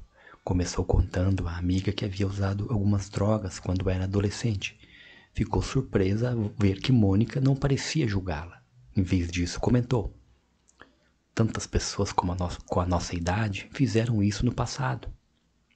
Essa resposta a encorajou a contar mais detalhes sobre sua juventude perturbada. Depois de uma hora, Petra revelou a vergonha que tinha por ter, por ter sido reprovada e expulsa da faculdade. Ficou surpresa ao ver que Mônica foi compreensiva e sensível às suas experiências. Em vez de ser crítica, Mônica demonstrou reconhecimento pelo quanto Petra conquistou em sua vida depois de um início tão atribulado. Depois daquela noite, Petra se sentiu mais próxima do que nunca de Mônica e começou a encarar seus erros na juventude com menos vergonha. Subtítulo Auto Perdão Ser uma boa pessoa não significa que você nunca irá fazer coisas negativas. Cometer erros faz parte da condição do ser humano. Se, após uma avaliação cuidadosa, você concluir que fez alguma coi algumas coisas erradas, então o auto-perdão pode aliviar sua culpa e vergonha. Ninguém é perfeito. Todos nós, em algum momento, violamos os nossos próprios princípios ou padrões. Vamos nos sentir culpados ou envergonhados se acreditarmos que o que fizemos significa que somos maus. Porém, as violações não significam necessariamente que somos maus. Como no caso de Petra, nossas ações estão ligadas a uma situação particular ou a um momento específico em nossas vidas. O auto-perdão proporciona uma mudança na interpretação do significado da violação ou do erro que cometemos. A nossa compreensão pode mudar de cometi esse erro porque, porque sou uma pessoa horrível para cometi esse erro durante uma época terrível em minha vida, quando não me importava que meu comportamento fosse assim.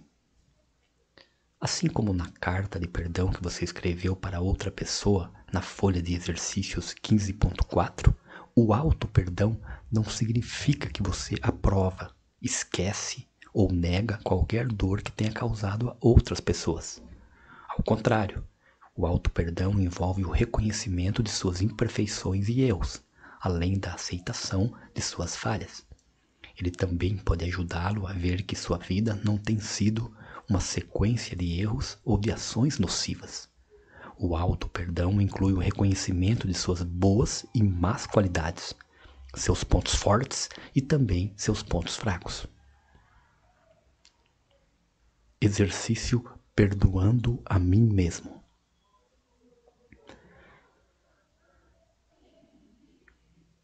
Algumas pessoas têm muita dificuldade em perdoar a si mesmas. Elas têm vozes internas rigorosas e críticas. Se você é capaz de perdoar outras pessoas por suas faltas, mas tem dificuldade em perdoar a si mesmo, você pode se beneficiar da prática do auto-perdão. Isso envolve aprender a olhar para si mesmo com a mesma generosidade ou compaixão com a qual olha para os outros. A folha de exercícios 15.9 guia você nesse processo. Subtítulo Folha de Exercícios 15.9 Perdoando a mim mesmo.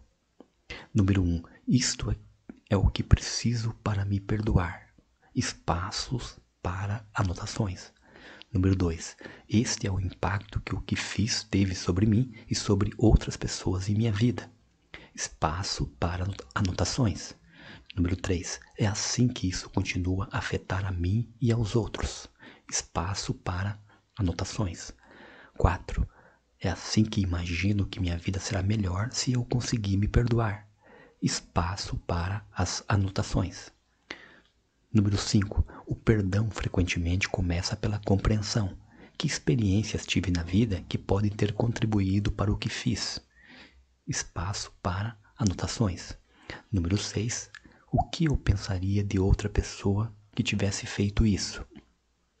Espaço para fazer as anotações. E número 7, que aspectos positivos de mim mesmo e de minha vida costumo ignorar quando estou sentindo culpa ou vergonha. Espaço para anotações. Número 8. Perdoar não significa aceitar, esquecer ou negar o que foi feito e a dor que você sentiu. Ao contrário, perdoar significa encontrar uma forma de abandonar sua culpa e vergonha e compreender suas ações segundo uma perspectiva diferente. Escreva em um tom gentil e compassivo sobre como você pode perdoar a si mesmo pelo que fez. Número 9. Estas são as qualidades que tenho que me permitirão que eu siga em frente. Repetindo, estas são as qualidades que tenho que permitirão que eu siga em frente.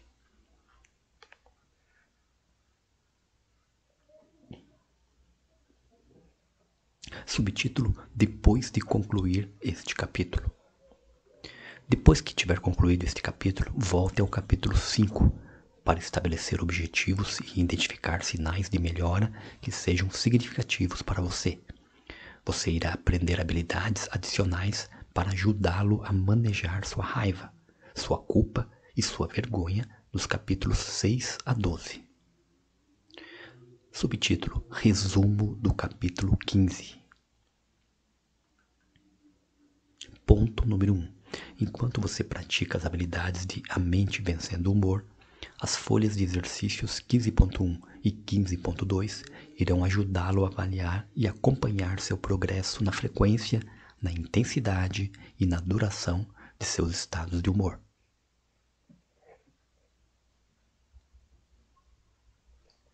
Ponto número 2. A raiva é caracterizada por tensão muscular, aumento na frequência cardíaca, aumento na pressão arterial e atitude defensiva ou ataque. Ponto número 3.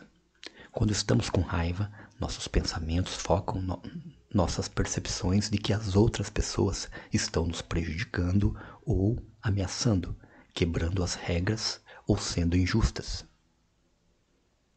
Ponto número 4. A raiva pode variar desde irritação leve até fúria. A intensidade de nossa raiva é influenciada por nossa interpretação do significado dos acontecimentos, nossas expectativas em relação às outras pessoas e se achamos que o comportamento dos outros foi ou não intencional. Ponto número 5. Os métodos que são eficazes no controle da raiva incluem testar os pensamentos de raiva, utilizar a imaginação para antecipar e preparar-se para os acontecimentos nos quais você está em risco de ter raiva, reconhecer os primeiros sinais de alerta de raiva, dar um tempo, ser assertivo, perdoar e fazer terapia de casal ou de família. Ponto número 6. Sentimos-nos culpados quando achamos que fizemos algo de errado ou não correspondemos aos padrões que estabelecemos para nós mesmos. Ponto número 7. A culpa é frequentemente acompanhada por pensamentos contendo as palavras deveria ou tem de. Ponto número 8. A vergonha envolve a percepção de que fizemos algo de errado, de que precisamos manter isso em segredo e que o que fizemos significa algo terrível sobre nós. E ponto número 9. A culpa e a vergonha podem ser diminuídas ou eliminadas por meio da avaliação de suas ações, pesando a responsabilidade pessoal, fazendo reparos por algum dano que você causou, quebrando o silêncio em torno da vergonha e exercitando o auto-perdão.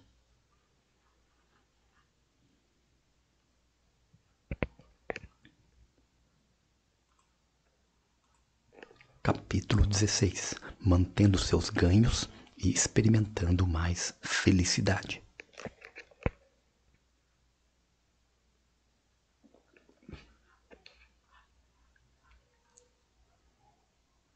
Um sábio pescador, enquanto pescava na beirada de um pier, foi abordado por uma mulher faminta que não comia há vários dias. Vendo o cesto de peixes que ele havia pescado, a mulher implorou que lhe desse um peixe para aplacar sua fome. Depois de pensar por um momento, o pescador respondeu: Não vou dar nenhum de meus peixes, mas se você se sentar ao meu lado e pegar um caniço, vou ensiná-la a pescar. Assim você não comerá somente hoje, mas aprenderá a se alimentar pelo resto de sua vida. A mulher seguiu o conselho do pescador, aprendeu a pescar e nunca mais teve fome. Assim como o aprendizado da habilidade de pescar ajudou a mulher na, da história, as habilidades de a mente vencendo o humor que você praticou e aprendeu vão ajudá-lo hoje e pelo resto de sua vida. Este capítulo final pede que você revise o que aprendeu durante a utilização de a mente vencendo o humor e determine como pode usar essas habilidades para continuar melhorando sua vida. Se você trabalhou até aqui neste livro, é muito provável que seus estados de humor tenham melhorado e você está capacitado para usar muitas habilidades de a mente vencendo o humor com confiança. As pessoas aprenderam essas habilidades em três estágios. No primeiro estágio, você aplica as habilidades de forma consciente e deliberada. Abre parênteses, escrevendo os registros de pensamentos, preenchendo semanalmente os cronogramas de atividades, planejando experimentos comportamentais. Fecha parênteses. O segundo estágio no desenvolvimento das habilidades de a mente vencendo o humor inicia quando você já utilizou as habilidades com uma frequência suficiente para carregá-las dentro de sua mente, sem as folhas de exercícios, mas ainda com esforço deliberado e consciente. O estágio final se dá quando você já praticou tanto essas habilidades que elas começam a ocorrer automaticamente, sem esforço consciente ou deliberado. Por exemplo, você pode ter um pensamento automático: sou um fracasso. E a seguir pensar rapidamente: espere um minuto, atrapalhei-me, mas isso não faz de mim um fracasso. Então, nessa mesma situação, você pode simplesmente pensar: ó, oh, atrapalhei-me com isso sem pensar de forma alguma em ser um fracasso. Este é o momento em que as suas novas formas de pensamento e comportamento se tornam arraigadas e automáticas. Subtítulo Dicas úteis. Frequentemente, quando começamos a nos sentir melhor, paramos de usar as habilidades que nos ajudaram a chegar àquele ponto. Na verdade, é valioso continuar a usar deliberadamente as habilidades úteis até que se tornem automáticas. Mesmo quando começar a usar automaticamente as habilidades de a mente vencendo o humor, é possível que algumas vezes você ainda sinta os mesmos estados de humor que o levaram a usar este livro. Experimentar uma variedade e intensidade de estados de humor é parte normal e valiosa da vida. Ao mesmo tempo, você deve estar alerta para notar as flutuações de humor anormais se transformam no que é chamado de recaída. A palavra recaída aplica-se a quase seus estados de humor quando se tornam mais graves, duram muito tempo, ocorrem com muita frequência ou começam a ter efeitos negativos em sua vida ou em suas relações. A maior parte das dificuldades relacionadas ao humor pode ser minimizada com sucesso. Se você estiver fazendo os exercícios deste livro e não estiver melhorando ou tiver recaídas frequentes, não perca a esperança. Talvez você melhore quando tentar formas alternativas de ajuda. Por exemplo, você pode consultar um profissional de saúde mental para orientações adicionais. Isto também é recomendado se você se sentir tão mal que tenha dificuldade em utilizar este livro por não conseguir se concentrar ou lembrar do que está lendo. Se você melhorou por meio da utilização de A Mente Vencendo o Humor e depois teve uma recaída, deve estar preparado para reconhecer esse contratempo assim que possível. É útil encarar esse contratempo como uma oportunidade de fortalecer suas habilidades. Quanto mais cedo você aplicar as habilidades de a mente vencendo o humor a qualquer dificuldade que esteja enfrentando, mais rapidamente voltará a se sentir bem. Se seus estados de humor começarem a piorar, uma boa ideia é retornar à aplicação deliberada das habilidades que o ajudaram a se sentir melhor inicialmente. Você poderá se surpreender ao descobrir que, quando volta a usar essas habilidades de modo consciente, elas ajudam mais rapidamente do que quando você as aprendeu. Isso acontece porque você não está aprendendo algo novo, mas atualizando o que já sabe.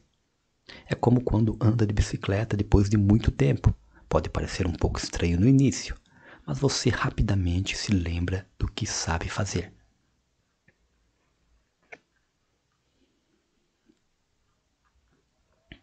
Exercício revisando e avaliando as habilidades de a mente vencendo o humor.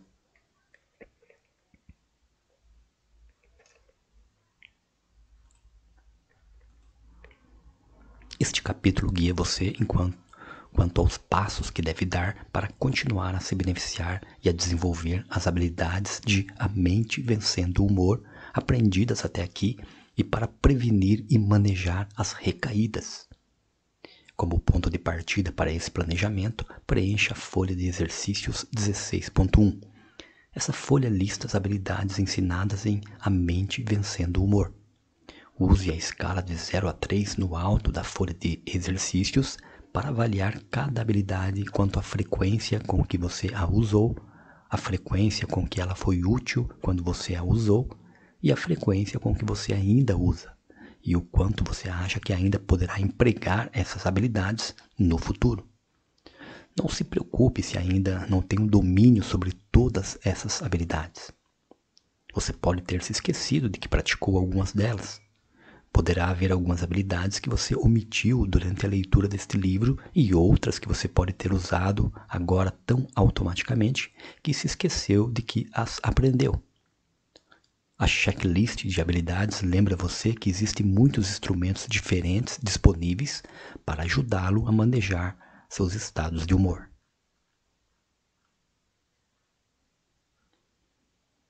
Folha de exercícios 16.1 Checklist de habilidades de A Mente Vencendo o Humor. Para cada habilidade listada, existem quatro categorias de avaliação.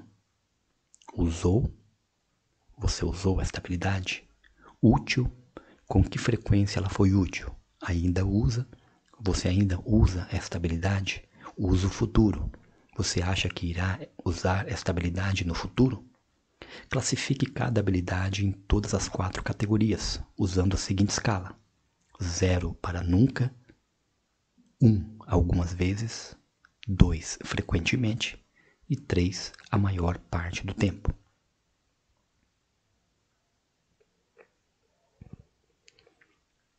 A coluna 1, veja o capítulo 2.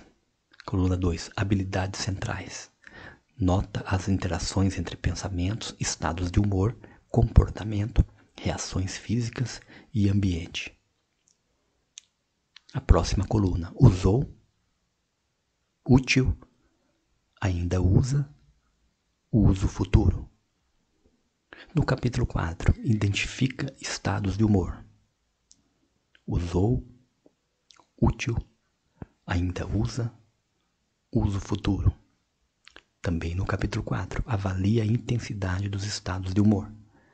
Usou, útil, ainda usa, uso futuro. No capítulo 5, define objetivos. Usou, útil, ainda usa, uso futuro. Capítulo 6 e 7 identifica pensamentos automáticos e imagens. Usou, útil, ainda usa, uso futuro.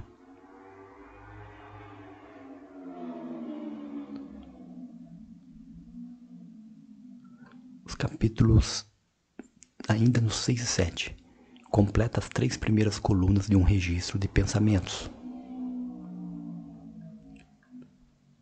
O capítulo 7 identifica pensamentos quentes.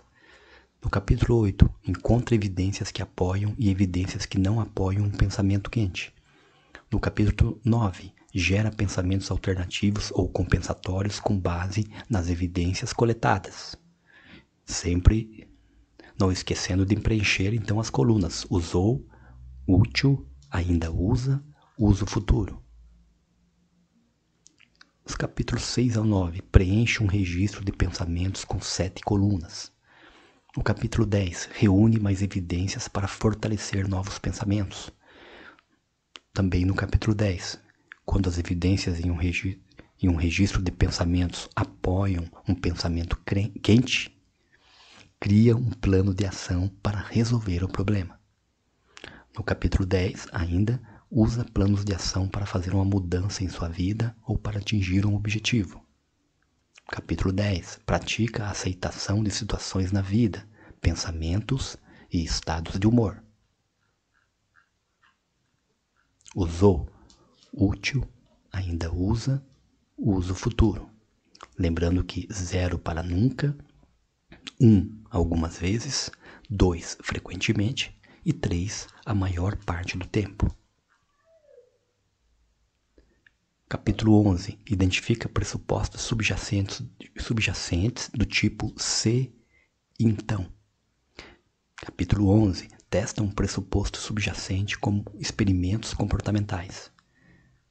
Capítulo 11, ainda no 11 desenvolve pressupostos alternativos que combinam com sua experiência de vida.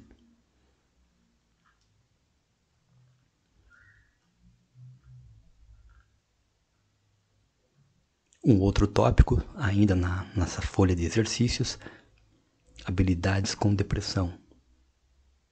Veja agora o capítulo 13. Classifica os sintomas de depressão. Usou, útil, ainda usa, uso futuro. Ainda no capítulo 13, usa um registro de atividades para observar as relações entre as atividades e humor. Também no capítulo 13, usa um cronograma de atividades para planejar atividades que são prazerosas, para atingir um objetivo, para ajudá-lo a resolver coisas que você tem evitado e que combinam com seus valores. Usou, útil, ainda usa, uso futuro. Veja o capítulo 14, habilidades com ansiedade. Classifica os sintomas de ansiedade, reconhece quando está evitando algo devido à ansiedade Identifica seus comportamentos de segurança. Faz uma escada de medos. Utiliza uma escada de medos para enfrentar seus medos e superar a esquiva. Também no 14, utiliza a atenção plena e aceitação para manejar a ansiedade. Veja o capítulo 15, habilidades com a raiva. Use, usa a imaginação para antecipar e se preparar para os acontecimentos. Reconhece precocemente sinais de alerta de raiva. Faz o uso de intervalos ou dar um tempo. Utiliza a comunicação assertiva. Todos os tópicos do capítulo 15. Pratica o perdão. Testa pensamentos e imagens de raiva Também no capítulo 15, habilidades com a culpa e a vergonha. Usou, útil, ainda usa, uso futuro. Avalia a seriedade de suas ações. Usa a torta de, da responsabilidade. Faz reparações. Rompe o silêncio. Pratica o auto-perdão. Marque as habilidades na folha de exercícios 16.1 que se tornaram automáticas para você aquelas que ocorrem sem planejamento deliberado. Pode haver algumas habilidades que sejam úteis a maior parte do tempo, mas que ainda não são automáticas para você. Continue a praticá-las.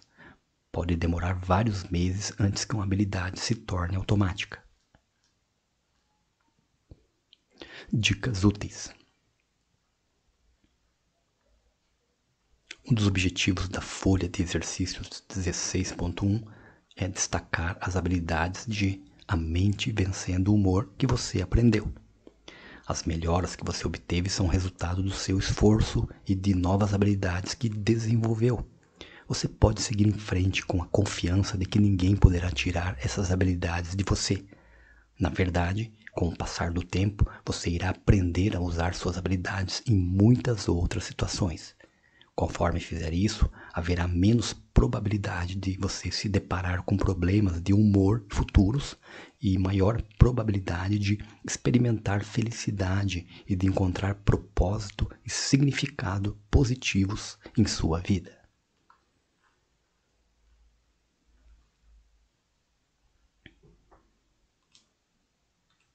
Subtítulo: Reduza a probabilidade de recaída.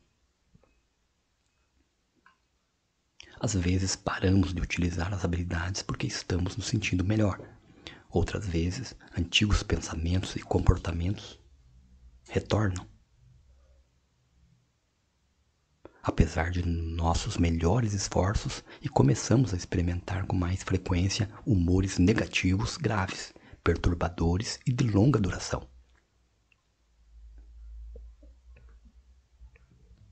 Mesmo que pareça ruim, essa é uma oportunidade de desenvolver ainda mais nossas habilidades e ajudá-las a se tornar mais automáticas. Conforme descrito anteriormente neste capítulo, se conseguimos notar essas recaídas precocemente e tomamos uma atitude, temos uma boa chance de melhorar nossos estados de humor rapidamente. Os três passos a seguir reduzem a probabilidade de recaída. Número 1. Um, identifique as situações de alto risco. Enquanto desenvolveu os exercícios deste livro, você deve ter notado que é mais provável que enfrente estados de humor problemáticos em determinadas situações. Márcia tinha maior probabilidade de se sentir ansiosa em aviões e quando seu coração ficava acelerado. Paulo tinha tendência a se sentir deprimido quando parecia que seus filhos e netos não precisavam dele. A raiva de Vitor era desencadeada quando ele achava que as pessoas não o apoiavam. Marisa ficava mais deprimida quando pensava que as pessoas não gostavam dela ou estavam se aproveitando dela. Na folha de exercícios 16.2, liste algumas situações que podem ser de alto risco para você em relação aos estados de humor nos quais está focado. Ponto número 2. Identifique os primeiros sinais de alerta. Estando você em situações de alto risco ou não, é importante ter consciência de que a maioria de nós tem sinais de alerta precoces de que estamos mergulhando em estados de humor cada vez mais profundos e problemáticos. Por exemplo, Paulo voltou a ficar muito ativo com os amigos e familiares quando sua depressão melhorou. Ele notou, contudo, que sempre que seu humor decaía por alguns dias, ele ignorava telefonemas e pensava em formas de evitar se reunir com os amigos e a família. Quando parava de atender os telefonemas e procurava motivos para não fazer as pessoas ou para não ver as pessoas, Paulo reconhecia essas ações como os primeiros sinais de alerta de que sua depressão estava voltando. Seus primeiros sinais de alerta podem ser comportamentos que você tem ou não tem. Por exemplo, ficar na cama por mais tempo, procrastinar, ou procrastinar mais, evitar situações ou pessoas. Pensamentos negativos, de preocupação, autocríticos, estados de humor, uma elevação nos scores do inventário de depressão ou do inventário de ansiedade, de a mente vencendo o humor, aumentando na irritabilidade, ou alterações físicas, dificuldade para dormir, fadiga, tensão muscular, alterações de apetite. Relembre suas experiências passadas. Quais poderiam ser seus primeiros sinais de alerta? Se você não tem consciência de algum, tente perguntar a seus familiares ou amigos que eles têm alguma ideia. Ou se eles têm alguma ideia. Escreva seus primeiros sinais de alerta na folha de exercícios 16.2. Para a maioria de nós, a identificação dos primeiros sinais de alerta inclui a avaliação regular de nossos estados de humor, mesmo depois que estamos nos sentindo melhor. Se experimentou depressão ou ansiedade no passado, você pode preencher mensalmente o inventário de depressão ou o inventário de ansiedade de A Mente Vencendo o Humor como parte de seu sistema de monitoramento dos primeiros sinais de alerta. Para outros estados de humor, você pode classificar periodicamente a frequência, a intensidade e a duração deles em uma escala de 0 a 100, conforme aprendeu a fazer na folha de exercícios 15.1 no capítulo 15. Um bom momento para colocar em prática seu plano para reduzir o risco de recaída é quando seus scores de humor começarem a aumentar em frequência, intensidade ou, dura, ou duração. E número 3, prepare um plano de ação. Uma das vantagens de aprender habilidades de manejo do humor é que você pode usá-las diante de desafios para ajudá-lo a compreender, tolerar e reduzir seu sofrimento. Na terceira sessão da folha de exercícios 16.2, você deve considerar quais qualidades, valores e crenças possui e que podem ajudá-lo durante a situação de alto risco e quando começa a identificar os primeiros sinais de alerta de que certos estados de humor estão se tornando problemáticos novamente. Pense no que você aprendeu em A Mente Vencendo o Humor que o ajudou a se sentir melhor. O aprendizado que, você, que foi mais importante para você é identificado na folha de exercícios 16.1. Portanto, revise suas respostas registradas lá quando estiver desenvolvendo um plano para prevenir ou se recuperar de uma recaída. Escreva na folha de exercícios 16.2 as habilidades e os passos que você pode dar em situações de alto risco e quando surgem os primeiros sinais de alerta de que os estados de humor estão piorando. Por exemplo, Paulo, ou quando Paulo notou que estava se afastando de sua família e seus amigos, seu primeiro sinal de alerta, ele revisou a folha de exercícios 16.1 e se deu conta de que havia se beneficiado da maior parte de seu cronograma de atividades. A folha de exercícios 13.6. Logo, ele escreveu em seu plano para reduzir o risco de recaída que seria mais ativo, sairia mais de casa e faria planos para ficar perto de outras pessoas. Além disso, depois de revisar a folha de exercícios 16.1, Paulo reconheceu que outra parte importante de sua melhora se deveria a ter aprendido, corrigindo, se devia a ter aprendido a pensar de forma diferente. Isso aconteceu a partir de sua utilização do registro de pensamentos e de um diário de gratidão. Como havia preenchido os registros de pensamentos durante vários meses, Paulo desenvolveu a habilidade de responder automaticamente a pensamentos negativos com pensamentos mais equilibrados, sem que fosse preciso pensar de modo consciente nisso ou anotar alguma coisa.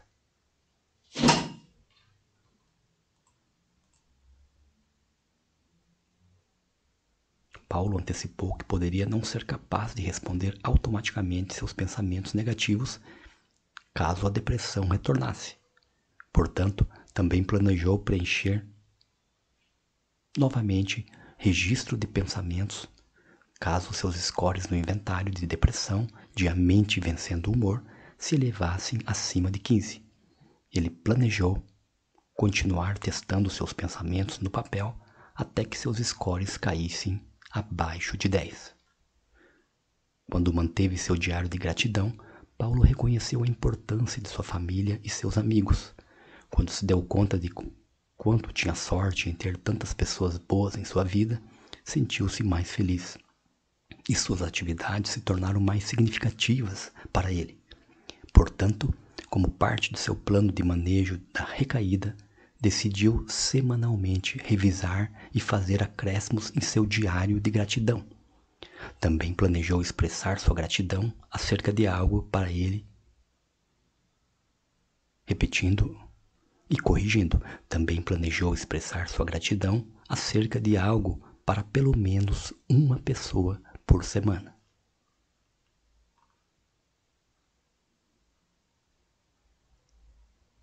Exercício reduzindo o risco de recaída. A folha de exercícios 16.2 ajuda você a reduzir seu risco de recaída.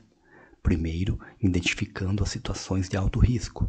Segundo, identificando os primeiros sinais de alerta de que você está mergulhando na depressão, na ansiedade, na raiva, na culpa ou na vergonha. E terceiro, preparando um plano de ação para ajudá-lo a enfrentar os desafios e os períodos de sofrimento.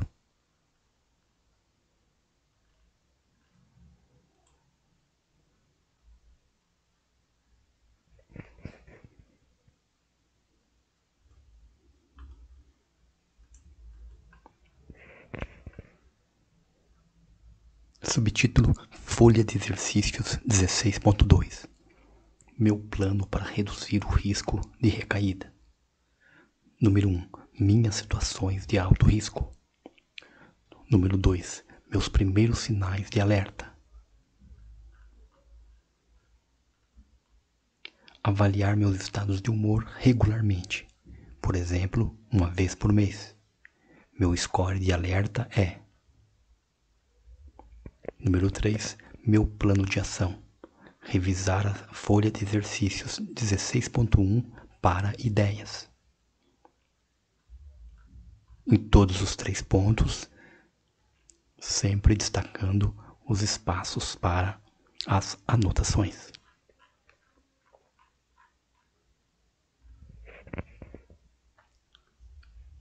Exercício Imagine-se enfrentando.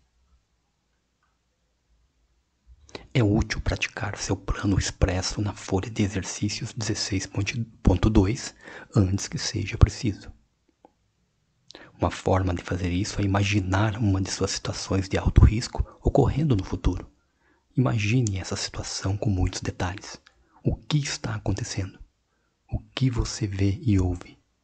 A seguir, imagine que está experimentando vários ou todos os primeiros sinais de alerta.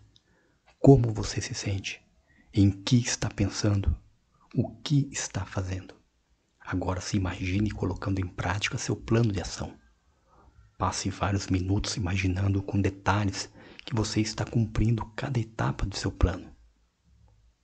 Enquanto executa cada passo em sua imaginação, preste atenção ao que está fazendo, pensando e sentindo.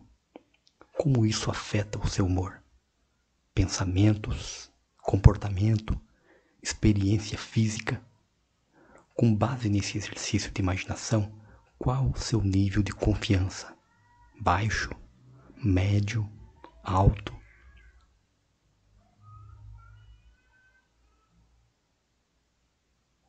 De que o plano de ação que descreveu no item 3 da folha de exercícios, bom, 16.2 será suficiente para ajudá-lo a se sentir melhor. Novamente se sentir melhor e se você começar a recair. Repetindo e corrigindo. Com base neste exercício de imaginação, qual o seu nível de confiança de que o plano de ação que escreveu no item 3 da folha de exercícios 16.2 será suficiente para ajudá-lo a se sentir melhor novamente se você começar a recair? Se seu nível de, confiança for alto, então seu plano provavelmente é bom. Se sua confiança no plano for baixa, então você poderá pensar no que mais pode acrescentar a ele para aumentar a probabilidade de manejar bem futuros desafios. Se você achar que o plano é bom, mas, fal mas faltar confiança em suas habilidades para executá-lo, a melhor coisa a fazer é continuar praticando as habilidades contidas em seu plano de ação, mesmo quando estiver se sentindo bem. Idealmente, você vai querer que a maior parte de suas habilidades para redução de recaída seja consideravelmente automática quando estiver se sentindo bem, de modo que possa confiar nelas para ajudá-lo quando começar a se sentir pior.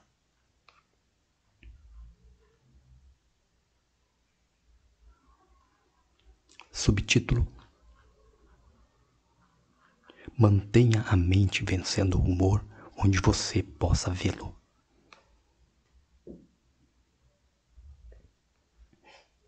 Você provavelmente tem usado este livro e praticado as habilidades com regularidade. Se estiver se sentindo melhor agora, poderá querer deixá-lo de lado, especialmente se tiver concluído a leitura ou a maior parte dela. Na verdade, é melhor continuar a consultar este livro, mesmo que você não o esteja usando mais tão regularmente quanto antes. Por exemplo, se você o utiliza todos os dias, é interessante mantê-lo em algum lugar em que possa vê-lo para que se lembre de revisar periodicamente o que aprendeu. Por exemplo, uma vez por semana, durante alguns meses.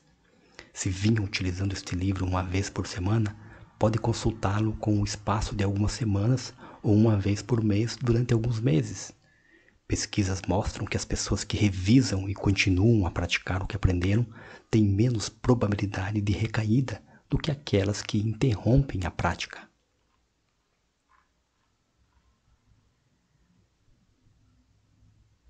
Subtítulo: Utilize a mente vencendo o humor para melhorar sua vida e vivenciar maior felicidade.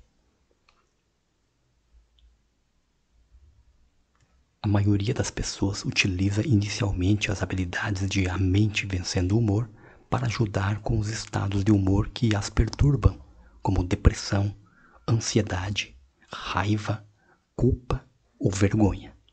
Essas mesmas habilidades também podem ajudá-lo a desenvolver maior felicidade. As habilidades de a mente vencendo o humor operam como um elevador. Elas podem tirá-lo do subsolo e levá-lo não só até o andar térreo, mas também até o último andar. Por exemplo, no capítulo 12, você aprendeu a usar o diário de gratidão, a expressar gratidão pelos outros e a agir com gentileza. Essas práticas estimulam a felicidade. O capítulo 14 descreve como usar a imaginação positiva para manejar a ansiedade. A imaginação positiva também pode ser empregada para imaginar novas maneiras de ser. Quando você imagina ativamente novos comportamentos, é mais provável que consiga executá-los. Você pode usar a imaginação positiva para ajudá-lo a criar mudanças positivas em sua vida. Quando quiser fazer mudanças positivas, poderá usar os planos de ação no capítulo 10 ou experimentos comportamentais no capítulo 11 para testar novas formas de fazer as coisas e ver o que funciona melhor para você.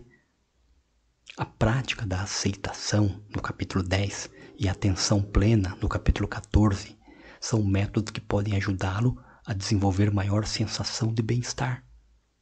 Uma das quatro atividades recomendadas para reduzir a depressão é observar e valorizar pequenas coisas positivas no capítulo 13. Saborear as experiências positivas quando você não está deprimido ajuda a promover maior satisfação na vida. Você também aprendeu que é importante se engajar em uma variedade de atividades quando está deprimido. Atividades que são prazerosas, fornecem uma sensação de realização, ajudam a superar a esquiva e são compatíveis com seus valores. Quando você está se sentindo melhor, esses mesmos tipos de atividades o ajudam a obter uma vida cheia de satisfação e bem-estar. Mesmo que esteja se sentindo bem agora e não esteja mais deprimido, ansioso ou com raiva, pense em como pode continuar a utilizar as habilidades de a mente vencendo o humor para tomar o elevador até os andares mais altos.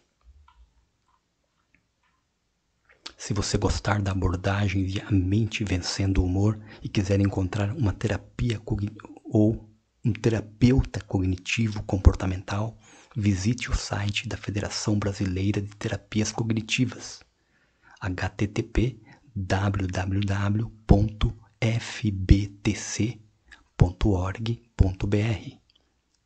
Repetindo, http www.fbtc.org.br tc.org.br. Caso não consiga encontrar um terapeuta cognitivo comportamental perto de você nesse site, peça a seu médico ou a outra pessoa em quem confia que indique um terapeuta.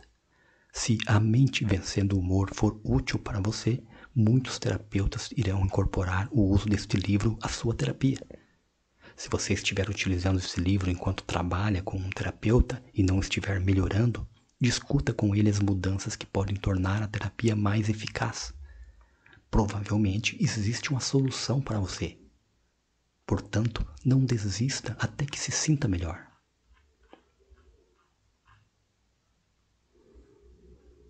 Subtítulo Resumo do capítulo 16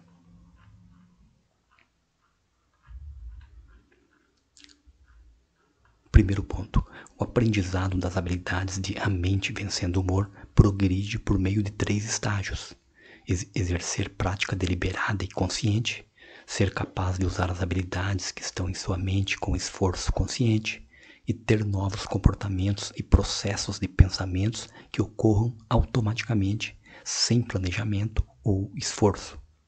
Segundo ponto: as pessoas costumam parar de usar as habilidades depois que seus estados de humor melhoram. Porém, é recomendável continuar a praticá-las até que seu emprego se torne automático.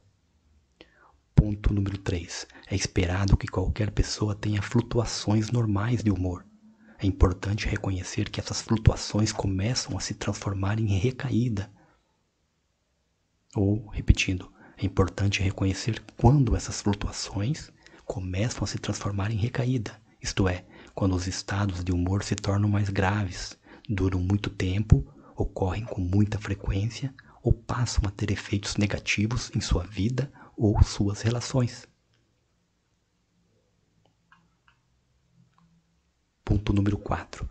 A checklist de habilidades de A Mente Vencendo o Humor, a folha de exercícios 16.1, destaca as habilidades que você utilizou a frequência com que elas o ajudaram e se você ainda as utiliza e com que frequência planeja usá-las no futuro.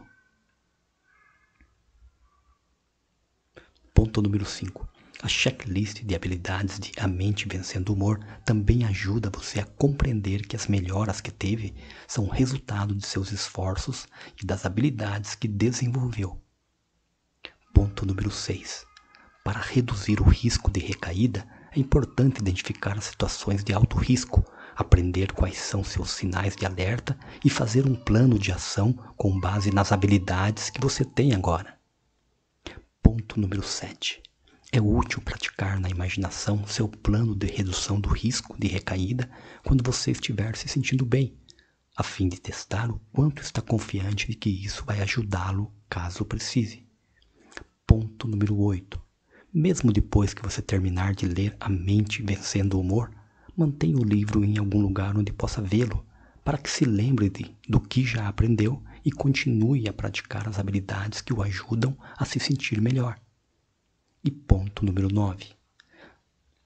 As mesmas atividades e habilidades que o erguem da depressão, da ansiedade, da raiva, da culpa e da vergonha também podem levá-lo a estados de humor positivos depois que você se sentir melhor.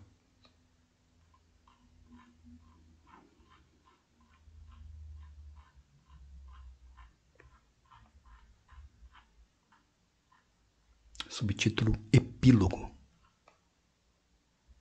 Embora tenha lido a respeito de muitas pessoas diferentes neste livro, você acompanhou em detalhes o progresso de Paulo, Márcia, Marisa e Vitor e deve estar curioso para saber o que aconteceu com eles.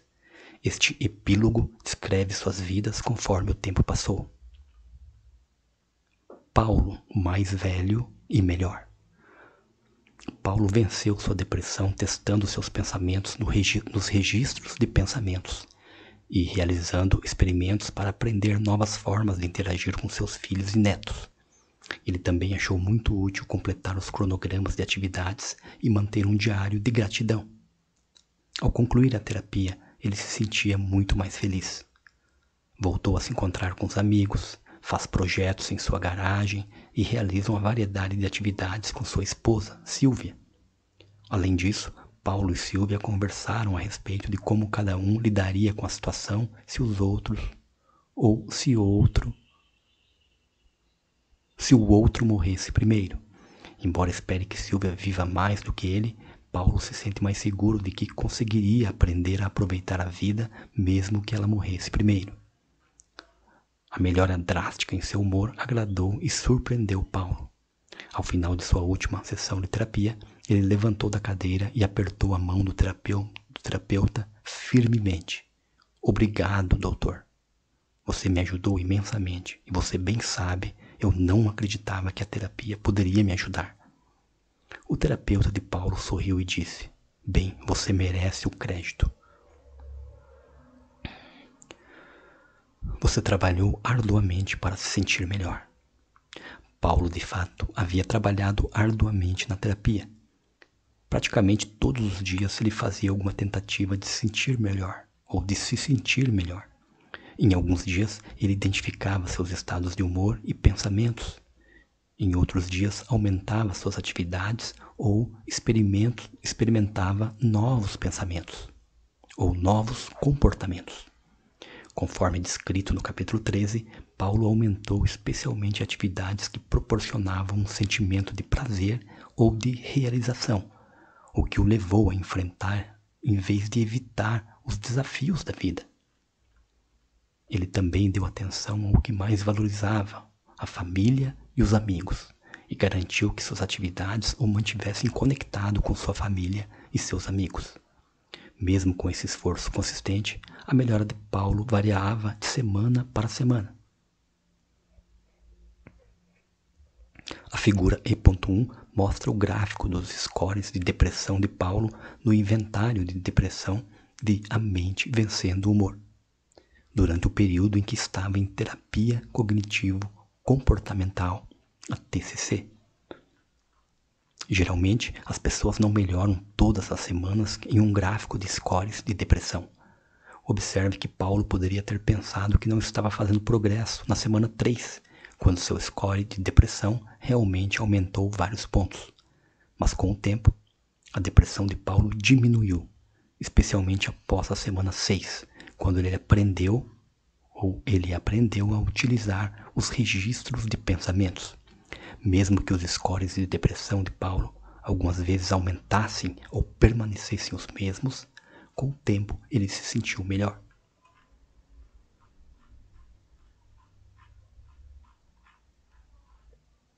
Marisa, finalmente minha vida parece valer a pena.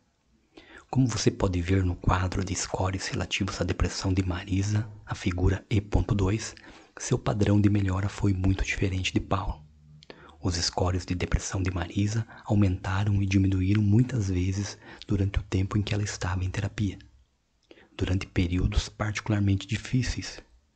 Por exemplo, quando estava recebendo feedbacks críticos no trabalho quando ela e seu terapeuta estavam discutindo seu abuso na infância, quando ela ficou desencorajada e parou de completar os registros de pensamentos, Seus scores de depressão eram mais altos e ela estava mais deprimida. Conforme Marisa melhorou suas habilidades para usar a resolução de problemas, os registros de pensamentos e os experimentos, seus scores de depressão ficaram mais baixos e ela estava menos deprimida. Às vezes, os scores de depressão de Marisa eram tão altos quanto os do início da terapia. Mas você pode observar que seus scores eram, em sua maior parte, mais baixos nas últimas semanas da terapia.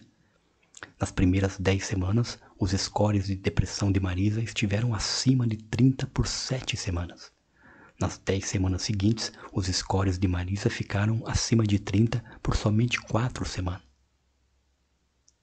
Repetindo, por somente quatro semanas. Nas dez semanas seguintes, seus scores ficaram acima de 30 em apenas uma semana. Portanto, embora Marisa continuasse a lutar contra a depressão por meses, seu quadro a ajudou a ver que ela teve menos semanas em que se encontrava muito deprimida quando começou a usar os registros de pensamentos e as outras habilidades que aprendeu. Como ocorre com frequência com pessoas que aprendem aprendem a usar as habilidades de a mente vencendo o humor, Marisa observou que se sentia deprimida com menos frequência e que, quando experimentava estados de humor piores, eles não eram tão graves e não duravam tanto tempo. Em sua sessão mais recente, Marisa já estava usando as estratégias descritas em A Mente Vencendo o Humor há mais de três anos. Ela está utilizando os métodos sozinha embora retorne para ver seu terapeuta quando precisa de ajuda para resolver algum problema. Marisa não teve qualquer tentativa de suicídio nos três anos anteriores. Está se saindo bem no trabalho e recebeu avaliações positivas de seu supervisor. Seu segundo filho entrou na faculdade e, com os dois filhos morando fora de casa, ela se mudou para um apartamento menor em um prédio onde pode cultivar um jardim. Marisa está morando sozinha pela primeira vez em sua vida. Ela fez novos amigos e se sente com mais esperança em relação ao futuro. Márcia voando com frequência. Como você ficou sabendo no capítulo 11, Márcia obteve sucesso na superação de seus ataques de pânico e seu medo de voar. Três passos básicos a levaram ao sucesso.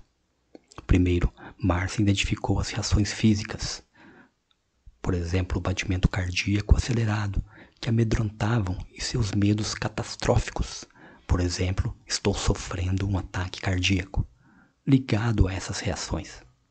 Com a ajuda do terapeuta, Márcia construiu explicações alternativas. Por exemplo, um batimento cardíaco acelerado pode ser causado por ansiedade, excitação ou café de modo que ela construiu explicações alternativas para tais reações físicas. E terceiro, Márcia realizou inúmeros experimentos para reunir informações e testar se suas crenças catastróficas ou explicações alternativas combinavam de modo mais adequado com suas experiências de vida. Esses experimentos foram feitos no consultório do terapeuta, na imaginação, em casa e em aviões. Com o tempo, Márcia tornou-se confiante de que as reações físicas que experimentava era, eram alimentadas pela ansiedade pelo, e não pelo perigo físico. Ela aprendeu e praticou inúmeras estratégias para reduzir sua ansiedade. Ela já está voando confortavelmente poucos meses depois de iniciar a terapia. Márcia manteve a promoção no trabalho e se tornou supervisora regional de sua empresa. Conseguiu usar as habilidades que aprendeu em A Mente Vencendo o Humor para identificar e modificar seus pensamentos a fim de manejar as pressões adicionais de seu novo emprego. Vitor, a solução perfeita. Ser imperfeito. Vitor inicialmente procurou tratamento querendo se sentir mais confiante, para se sentir melhor em relação a si mesmo, a manejar sua raiva e a obter ajuda para manter sua sobriedade. Com o passar do tempo, alguns dos objetivos do tratamento de Victor mudaram. Ele permaneceu firme em seu compromisso de manter a sobriedade. No entanto, começou a se dar conta de que seus problemas como a raiva, a depressão e a ansiedade estavam ameaçando seu casamento. Vitor dedicou-se a cada uma dessas questões. Seu progresso foi caracterizado por trabalho árduo, esforço contínuo e melhora constante, interrompida por dois episódios de bebedeira descontrolada e deterioração significativa de sua vida. Depois de completar aproximadamente 35 registros de pensamento ou 35 registros de pensamentos, Vitor desenvolveu uma boa habilidade de identificar e testar os pensamentos que contribuíam para seus estados de humor baixa autoestima e abuso de álcool. A antecipação de acontecimentos difíceis e o uso de imaginação para se preparar para eles ajudaram Vitor a controlar seus impulsos para beber e minimizaram a frequência de suas explosões de raiva. Vitor utilizou o registro de crença nuclear, a folha de exercícios 12.6, para registrar evidências que apoiavam seu novo senso de competência. Após seu segundo episódio de bebedeira, Vitor teve sucesso em controlar seus impulsos para beber e manteve a sobriedade. Ele atribuiu sua sobriedade à aprendizagem de várias estratégias para manejar e a modificar. Repetindo, para manejar seus estados de humor de forma mais sadia. Uma dessas estratégias foi aprender a reconhecer e a modificar os pensamentos e crenças que aumentavam seus estados de humor negativos e impulsos para beber. Além disso, Vitor e Júlia decidiram que uma terapia de casal seria útil. A terapia de casal os ensinou a melhorar sua comunicação, a expressar claramente seus sentimentos e a testar a exatidão de seus pensamentos em relação ao outro. Além do mais, a terapia os ajudou a reparar sua confiança, que tinha sido enfraquecida por anos de raiva e alcoolismo.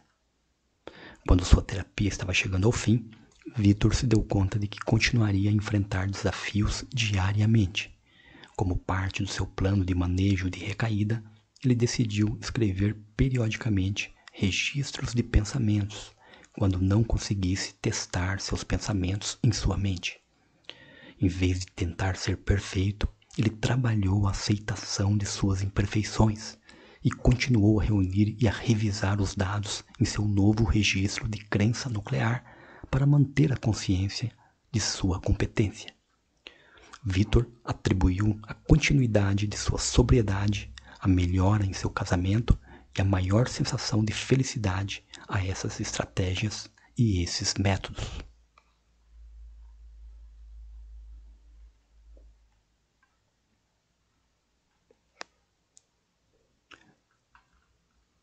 Nova crença nuclear. Sou competente. Evidências ou experiências que apoiam minha nova crença. Número 1. Um, minha filha e eu visitamos uma faculdade que ela estava considerando frequentar. E eu a ajudei a conhecer o local e a fazer perguntas. Ela me disse que apreciava minha ajuda. Número 2. Ajudei meu filho com um projeto de ciências em que ele estava trabalhando. Não fiz o projeto para ele, mas o ajudei a pensar de uma forma que o auxiliasse a fazer por si mesmo. Número 3. Júlia expressou admiração pela continuidade de minha sobriedade. Número 4. Vendi produtos para quatro novas contas no mês passado. Número 5. Fui convidado pelo pastor de minha igreja para organizar uma reunião para os novos membros. Número 6. Participei de uma reunião dos Alcoólicos Anônimos na terça-feira à noite, quando tive vontade de beber. Número 7. Entreguei meu relatório mensal dentro do prazo. Número 8. Fiquei calmo quando Júlia e eu estávamos discutindo sobre nossas contas. Figura E.3 Novo registro de crença nuclear de Vitor. Subtítulo: Mude como você se sente, alterando o modo como você pensa. O capítulo 1 de A Mente Vencendo o Humor descreveu como uma ostra transforma um, um agente irritante em uma pérola valiosa. Esperamos que a mente vencendo o humor o tenha ajudado a adquirir novas habilidades para transformar agentes irritantes e problemas em sua vida em novas estratégias de enfrentamento e pontos fortes. Você agora tem maior capacidade de avaliar seus pensamentos, manejar seus estados de humor e mudar sua vida. Esperamos que tenha resolvido os problemas que o trouxeram até a mente vencendo o humor e que, nessa resolução, tenha alcançado insight, compreensão, habilidades e métodos para transformar futuros irritantes em pérolas valiosas.